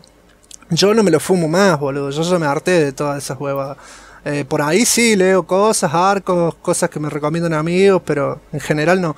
A lo que iba con todo esto es que justamente eso que mencionas vos, que contabas el ejemplo de tu novia, eh, la gente se hace una idea y acá vos tenés dos opciones. O sea, la gente se puede enganchar tanto como para empezar a leer cómics y que les guste, o puede engancharse hasta las preguntas que hizo tu novia y nada más. Porque sabes que no se va a poner a leer cómics. No, y pasa lo mismo, con mi novia pasa lo mismo también. Ah, sí, ¿este quién es? Ah, este está, qué sé yo. No sabes, en los cómics hace unas cosas que te- son increíbles. Ah, sí, ¿qué hace? No sé, lee los cómics. No te voy a contar 27 números del cómic. Ah, no, no, no quiero leer los cómics. Y claro, ¿qué te va a poner a leer?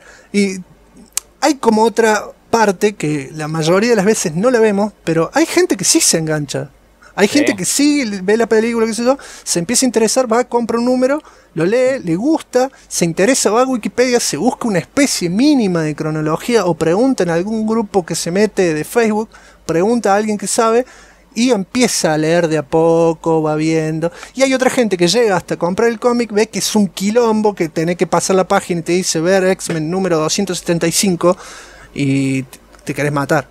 Porque Sí, sí. sí. Porque es mucho. El vendedor te vende cualquier cosa y cagaste. Sí, te queremos cortar un huevo. Eh, lo que, Volviendo- tiene, lo, lo que Sí. tiene sí que, por ejemplo, que todo esto que ahora ha generado Marvel, y es lo que por ahí usan mucho los que están, eh, se ponen un poco la camiseta, es que se nota que DC ahora que obviamente quiere hacer exactamente lo mismo, pero da un poco de miedo cómo lo están encarando, porque es como, eh, qué sé yo, si es una carrera de autos, Marvel ya le sacó una vuelta y ellos están tratando de meterle turbo hasta alcanzarlos. Lo que Y- tiene DC es algo que no dicen, porque, o sea, ahora toda la gente es como que está con la camiseta de Marvel sin haber leído nada, sin saber nada, sin nada, porque es como la moda, digamos. Es, Exacto. eh, Eh, ahora son a- a todos eso- fanáticos de Iron Man. ¿Quién, quién Sí. sos Iron Man? Nunca exististe, boludo. A lo que voy es que se crea todo un, un agite, un DC vs Marvel, cuando no existe el DC vs Marvel, porque no, no, hay, no hay nada que lo, que lo avale. Si hicieron todo el universo, si hicieron toda la girada, DC lo quiere hacer hace mil años y no puede hacerlo porque apenas ellos no tienen el estudio eh, fílmico que tiene Marvel. Marvel es una empresa que tiene su estudio. Sí. O sea, hace sus películas y las puede programar para eh, que los productores pongan la plata nomás y ellos dirigir todo lo que tengan ganas. Ellos eligen el director, ellos eligen qué guiño hacer, cómo sigue la otra película, qué cameo van a meter para que tenga relación con qué película, qué título, qué superhéroe. En cambio, DC tiene a Warner, que si bien son Warner es dueña de DC y toda esa historia, no tienen un, un estudio cerrado que puedan dirigir ellos. No, Entonces, además, si no le cierra a los productores, el director, si no le cierra el guion, empiezan a manosear, empiezan a... Y ahí se caga todo. Todos los planes que puedas hacer para un universo fílmico, se empieza a ir al tacho cuando a una película no le va... eh, no recauda las tres veces lo que... lo que fue la producción. O sea, si No, le- la peli obvio. costó 80 millones de dólares y no, y no recaudó 32, no le gusta. Ah, no, eh, recaudó 31. Ay, no, no sé si vamos a hacer la película que viene. Uy, boludo. Y todas esas pelotudeces. No, y aparte, bueno, por ejemplo, decir, bueno, DC eso tiene con las películas, pero está bueno pues se nota que en el caso de las series eh, eh, supieron encararlo mejor y le ganaron de mano en el caso a Marvel, porque Marvel tenía a Agent Carter, eh, eh, Agents Y con todas las- Shield, claro. Con todas las eh, desventajas que tiene DC eh, del lado de, de las adaptaciones a televisión, pues tienen un quilombo, Sí, un quilombo sí. gigante de derecho. No pueden usar a Batman, no pueden usar a Superman, no pueden mencionarlos. Pueden Claro. hacer referencias, pero juegan al al límite de- del juicio todo el tiempo.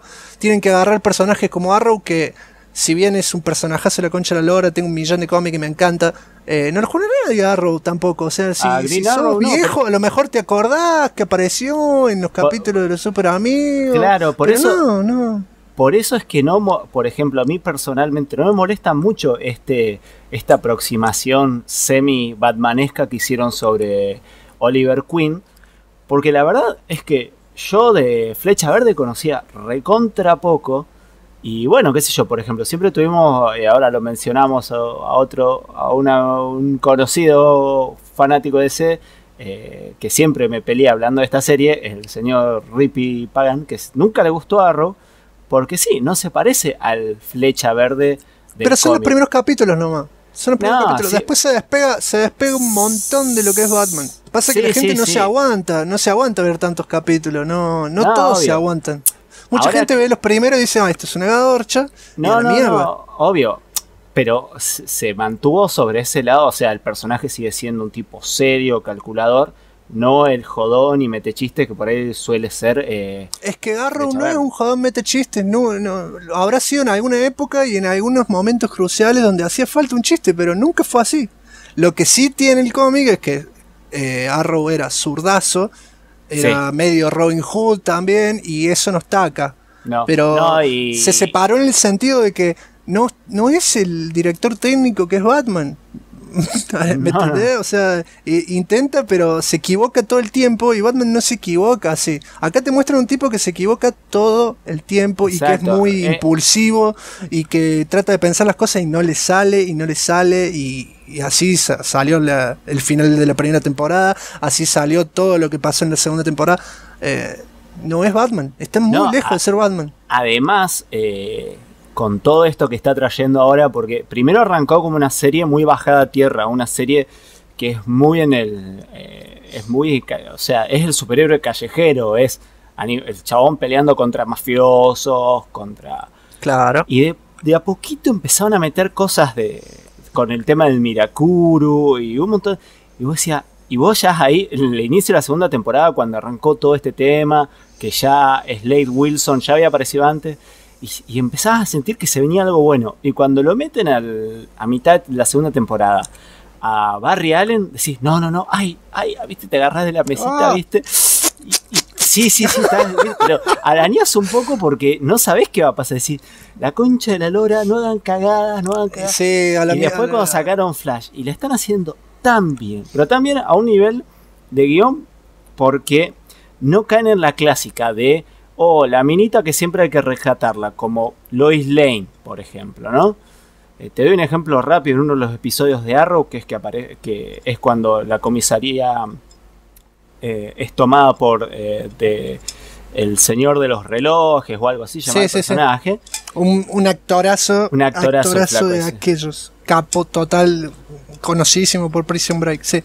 El flaco, eh, al final vos ves que se la lleva de rehén a la- al, al amor de Barria. De, La negra de mierda que quiero que se muera. Sí. Bueno, y vos decís, uh, ahora tiene que llegar este a rescatarla. Y sentís un tiro y se van al corte, ¿no? Y después resulta Sí. que la mina se había salvado sola y no tuvo que esperar a que Flash la salvara. Y yo cuando veo que los chabones toman la decisión de darle a los personajes femeninos un poco más de cerebro, Sí, Y- es genial. Sí. Eh, eh, eso está re bueno porque se, se nota que se están tomando un poco en serio lo que, lo que están haciendo porque no caen en los clichés clásicos. Y Está bueno que bien. haya amagues de ese tipo. Hay muchos. Y en Flash hay muchísimos, muchísimos. Mucho. Sí, sí, es sí. mucho. la- las vueltas de tuerca, por ejemplo, yo me vi todos los trailers hasta ahora. Que cosa que vos, por ejemplo, no haces. Y yo me No. tenía esta idea en mi cabeza de lo que iba a ser el nuevo episodio eh, que se llama Out of Time. Yo tenía una idea en mi cabeza con esos trailers. ¿No? Y me la dieron, y me la dieron vuelta en el, en el episodio y dije, listo, la están haciendo re bien. Ya saben hasta qué mostrarte en el trailer, no solo para calentarte, sino que cuando ves el episodio, te sorprende. Esa. ¿Ve? Mirá vos. Entonces, eh, está bueno porque la están haciendo re bien con esas dos series. Que es como yo digo, tienen, por un lado, lo, lo loco de los cómics, que tenés los superpoderes, las peleas, y tienen esto de bajarlo a tierra como lo hacen, lo hicieron con Superman en Man of Steel y con Batman. Que de ahí se hereda un poco también eh, los tonos oscuros en los trajes. Por ejemplo, el traje de Flash no es rojo carmesí. Es un rojo oscurito, no, no brilla. Sí, pero se nota que es rojo por lo menos. Sí, no sí, es, sí. eh, el, No es- el rojo Daredevil que no tiene nada de rojo casi. Exacto. eh, es- o sea, tienen eh, lo mejor de los dos lados. Y aparte, a Flash le están poniendo una plata. Arrow también, pero Flash le están poniendo una guita encima. Sí, sí, sí. Y se la están Porque devolviendo. está pues, midiendo bien, está Está midiendo bien. midiendo Lo- re bien. La gente Lo mismo que, bueno, lo que decía hace un rato de que la gente ve un par de capítulos y no aguanta y no ve más si no le gustó. Pasó con Gotham. Gotham empezó y es tan... Es el rara. capítulo 1 te muestra todo lo que te puede mostrar para decirte, mira, mira todos los que vamos a usar durante la serie. Y te muestra 200 personajes y vos ves 5 minutos de cada enemigo de, Batman en la serie. Y así, no, demasiado, mostraron demasiado. No, no, puede ser que se encamine. Segundo capítulo flojo, el tercero está más o menos. El cuarto se pone un poco mejor, el 5 cae, el 6 explota. Pero la gente no llegó al 6. No. No, Entonces, no, no, ¿qué pasa? Ah, no, Gotham, Gotham es una garcha. No saben lo que está Gotham ahora. Ahora se ha puesto muy buena y De- se está poniendo seria. Seria en el sentido de que no caen en clichés, como decías vos, que podría haber pasado en ese capítulo de Flash y no pasó. Acá pasa lo mismo. no caen en que siempre eh, Gordon va a hacer lo mismo, no caen en que siempre Gordon va a tener que eh, no o sea, no va a tener, viste que Gordon se niega a, hacer acuerdos con, con los mafiosos. Con la mafia.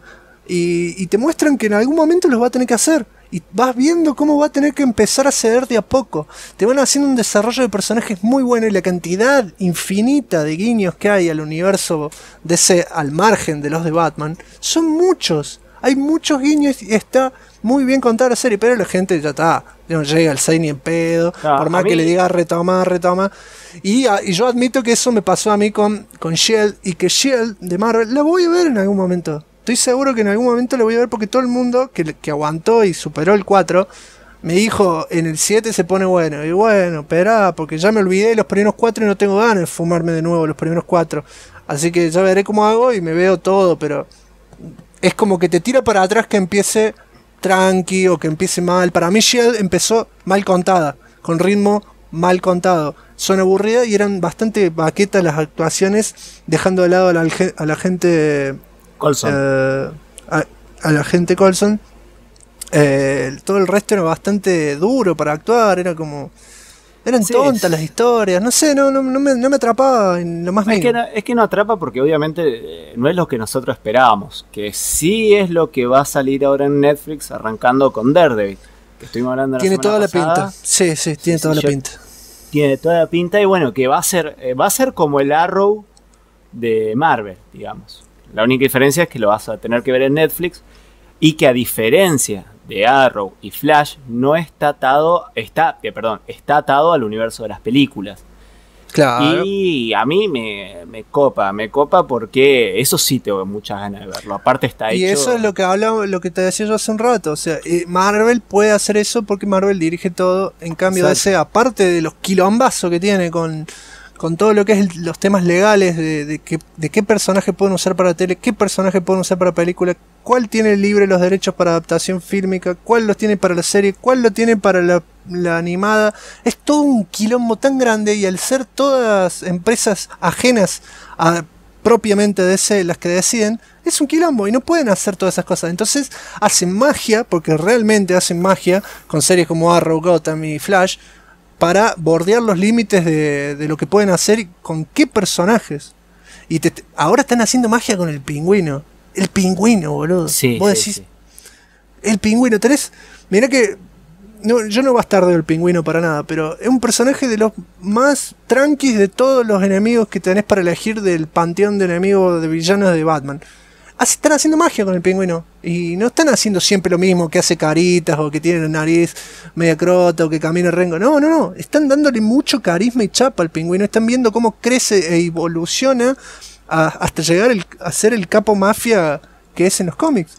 Sí, sí, nada, eso está re bueno. Eh, el tema yo, por ejemplo, yo con Gotham ahora tengo que ver todo lo que arranca de la segunda parte porque me recontra recolgué.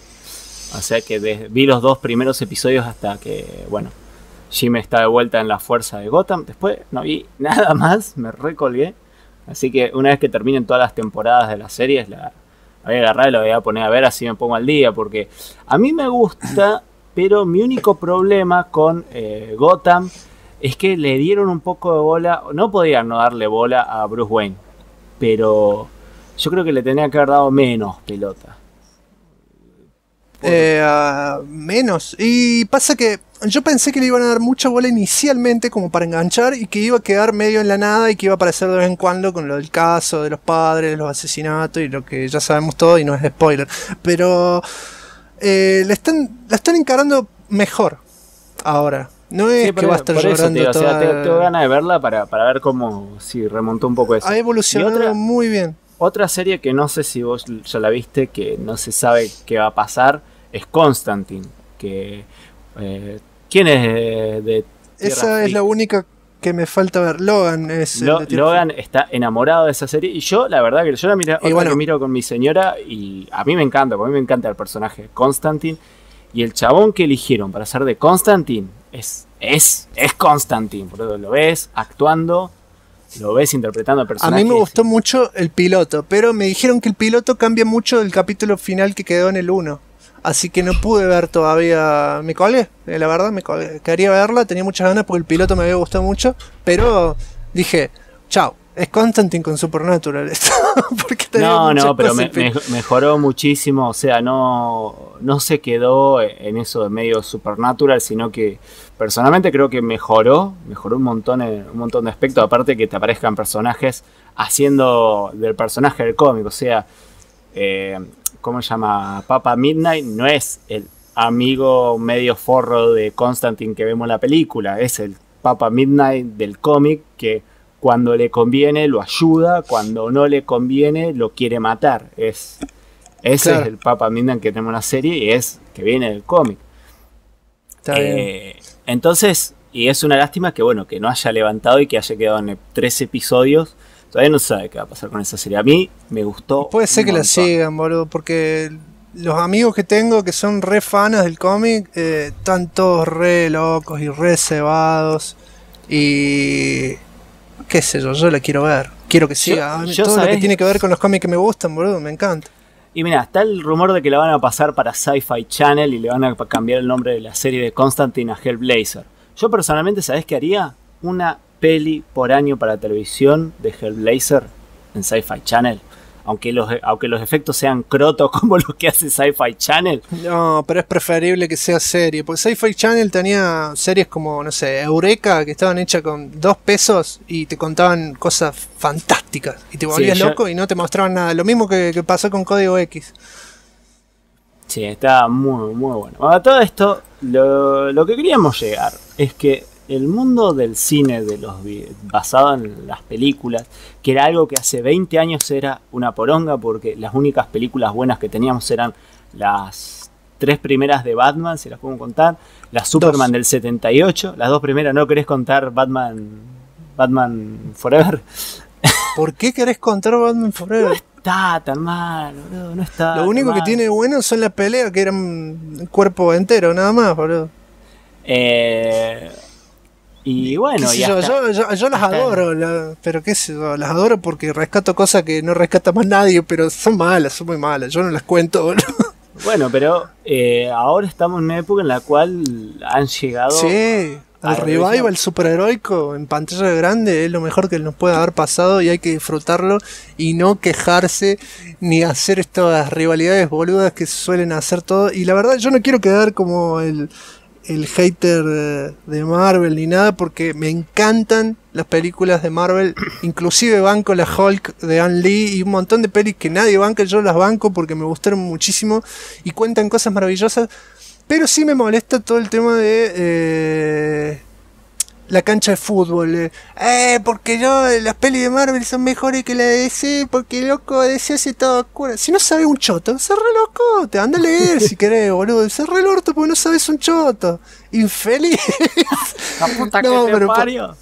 Eh, No, igual, pero, o sea, si, si bien yo soy re pro DC y siempre me gustó más y todo lo que sea, a mí yo tengo 3 millones de cómics de Marvel y también me gusta muchísimo Marvel y tengo las pelis en DVD, las voy a ver el día del estreno y toda la gilada.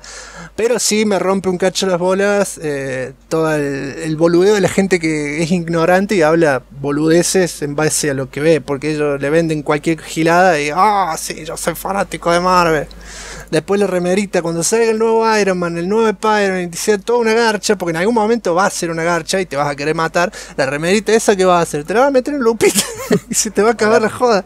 Por supuesto. Bueno, igual, igual las cosas que ya anunció Marvel, que ya sabemos que van a pasar, y se vienen copadas. O sea, bueno, Ant-Man no sé qué decir. Habría, va a haber- vamos a tener que ver la película y ver si zafa o no. Sí. Pero eh, ya Capitán América 3 Civil War, ya, ya sabiendo que va a estar Spider-Man en esa película, es, es, es así como, como que picante. O sea, Mira, si, mientras, mientras dirija William, yo sí, sí, sí. Ahora confío ciegamente en William.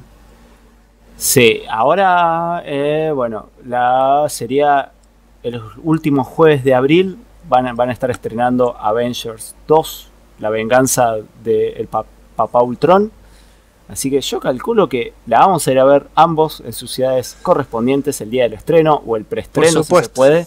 Y obvio que vamos a hacer un análisis detallado en Texas Totalmente, pero por supuesto. que va a salir obviamente pocos días después y... Y, y- Y la gente que no haya visto la película no va a escuchar el podcast porque vamos a spoilear asquerosamente. sí, es- eh, ahí Y vamos a inaugurar la sección eh, Spoiler Alert.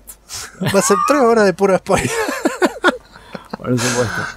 Bueno, eso es todo por lo que fue todo esto. ¿Querés agregar algo más? Pues ya puteaste a todo el mundo. ¿Querés putear a alguien, a alguien más? ¿Te No, yo no estoy más? puteando a nadie. Yo los quiero a todos por igual. Aunque sean unos margaritas hijos de puta. Ellos han nacido mal de la cabeza. ¡Oh! No, está todo. está todo re bien. Así que nos vamos a un temita y ya vamos terminando el podcast porque se oscureció. Se vino la noche. Sí, sí, nos estamos viendo. Ya volvemos.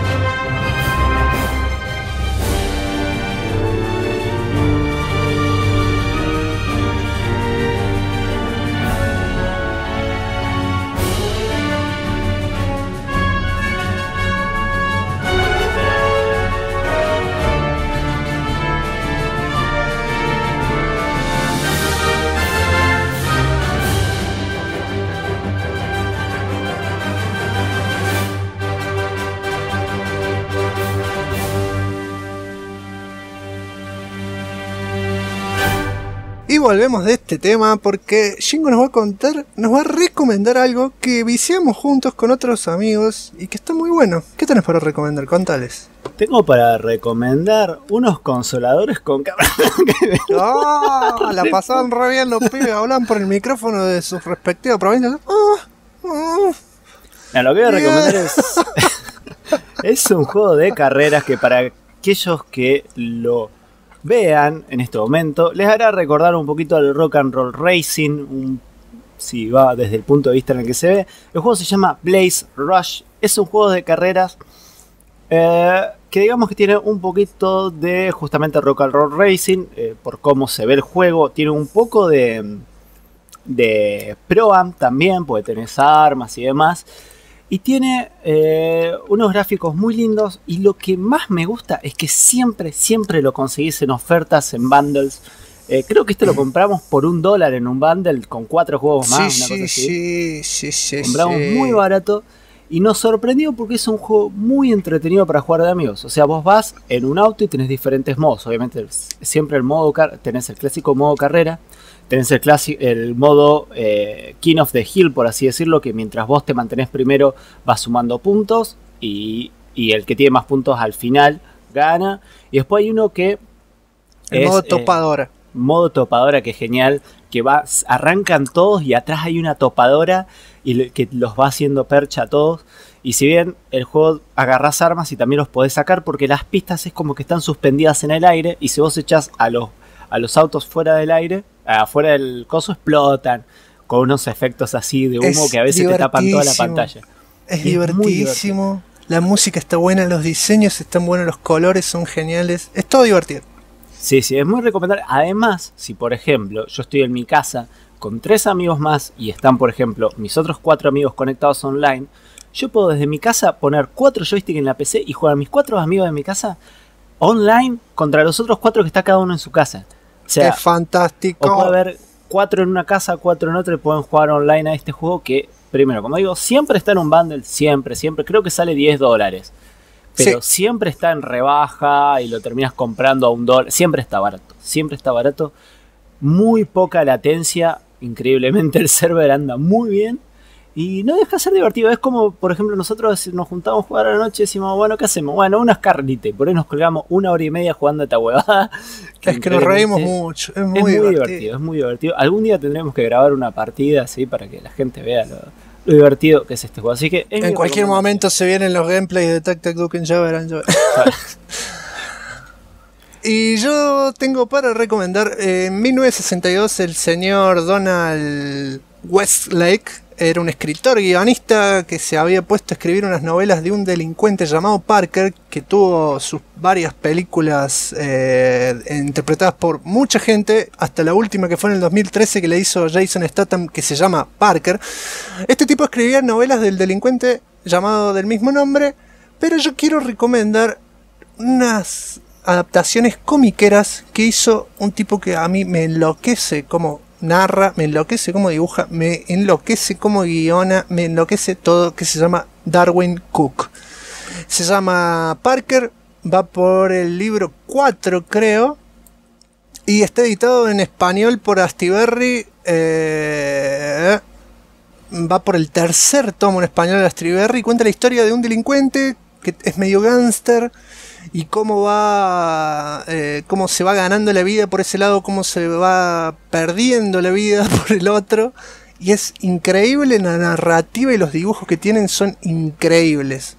Es una edición cara, pero se puede conseguir eh, por medios digitales, por supuesto.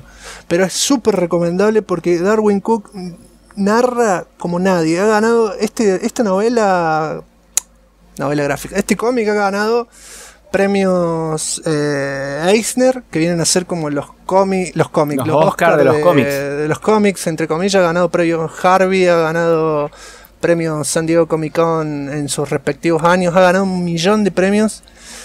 Y es una pena que el autor original de, de Parker se haya muerto antes de que saliera el primer tomo, pero lo poco que había visto antes de que saliera el primer tomo había hablado muy bien y le gustaba mucho cómo lo estaba adaptando Darwin Cook. Realmente pongo las manos en el fuego de que les va a gustar porque es muy divertido, muy entretenido y está re bien contado.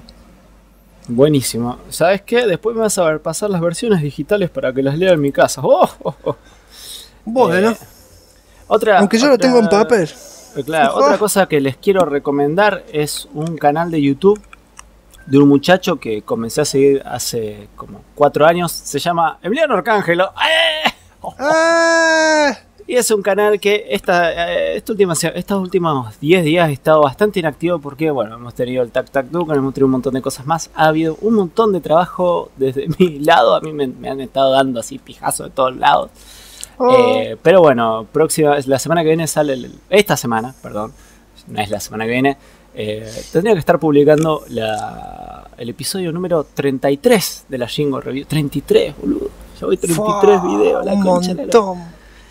Que bueno, eh, van, a, van a ver que está dedicado a algo que me gusta mucho, que son los videojuegos de Dragon Ball, pero no voy a spoilear más. Para la... mm, ¿Cómo se dice? Para aquellos que estén interesados, también me pueden buscar en Twitch como de Shingo y ahí está mi canal donde estoy haciendo transmisiones todos los días que yo quiera. Pueden ser sábados, pueden ser domingos, porque últimamente no sé dónde quedarme. Porque resulta que eh, los horarios que elijo siempre se conectan cinco personas, ¿no? Pues están todos haciendo algo mucho más divertido. Ya vas a encontrar un horario más acorde, es cuestión de elegir bien los tiempos hasta que enganches. Pero lo que haces es muy divertido porque yo lo presencio y me gusta. Y creo que a la gente también le va a gustar. Eh, yo les recomiendo, por supuesto, como siempre, mi canal. Me buscan en YouTube como Sakichones. Pueden ver videos de todo tipo. Tienen que ver con jueguitos, con películas, con, algunos con cómics, un poco de todo. Eh, ahora estoy haciendo gameplays, estoy subiendo cómo estoy jugando el Hotline Miami 2. También ¡Ah, estoy haciendo- Miami, no, va! Estoy haciendo gameplay retro. Empecé con el Street of Rage, que es un beat'em up clásico de SEA. Y mientras le voy dando con eso eh, movimiento al canal, mientras preparo los videos más importantes que me llevan mucho más tiempo que jugar. También Attack the Duken, por si nos está escuchando por primera vez y estás colgado de la palmera, nos podés encontrar en facebook.com barra Duken, nos podés encontrar en Twitter como Duken, nos podés encontrar en YouTube poniendo Duken, seguro te salen los episodios, nos podés encontrar en iVoox, nos podés encontrar en archive.org y, y si pones en Google Duken, lo primero que salen todos los resultados somos nosotros. Por supuesto, porque nadie más tiene ese nombre. Tenemos el nombre más rastreable de la internet, ¿te diste cuenta? Claro. Vos pones eso en YouTube y automáticamente, en Google y automáticamente te llega al canal, automáticamente te llega la foto hot de Saki, donde está solamente tapado con una hoja de parra en su parte privada. Y Perreando, perreando. Eh, así que bueno, esto fue todo por el Tac Tac Duken de esta semana. Eh, la verdad que es un, un episodio otra vez que se nos fue de las manos. Y bueno, son cosas que pasan, son temas picantes y hay que disfrutarlos mientras se puede. Claro, así acuérdense, dentro de poco se viene Avengers y ya haremos nuestro super análisis donde nos tiraremos con bombas y todo eso. Y todo el mundo dirá, hijos de puta, me spoilearon la película. Y nosotros vamos a decir, Y no, pero avisaremos. Ustedes saben que yo odio los spoilers y les voy a avisar cuando spoilemos. Les voy a avisar ya en el post, ya en el mismo título quizás le avisemos que vamos a spoiler, no se preocupen. Bueno gente, esto fue Tac Tac Tuc en la semana que arranca el martes, así que la, semana está recién arrancando. Que tengan una buena semana.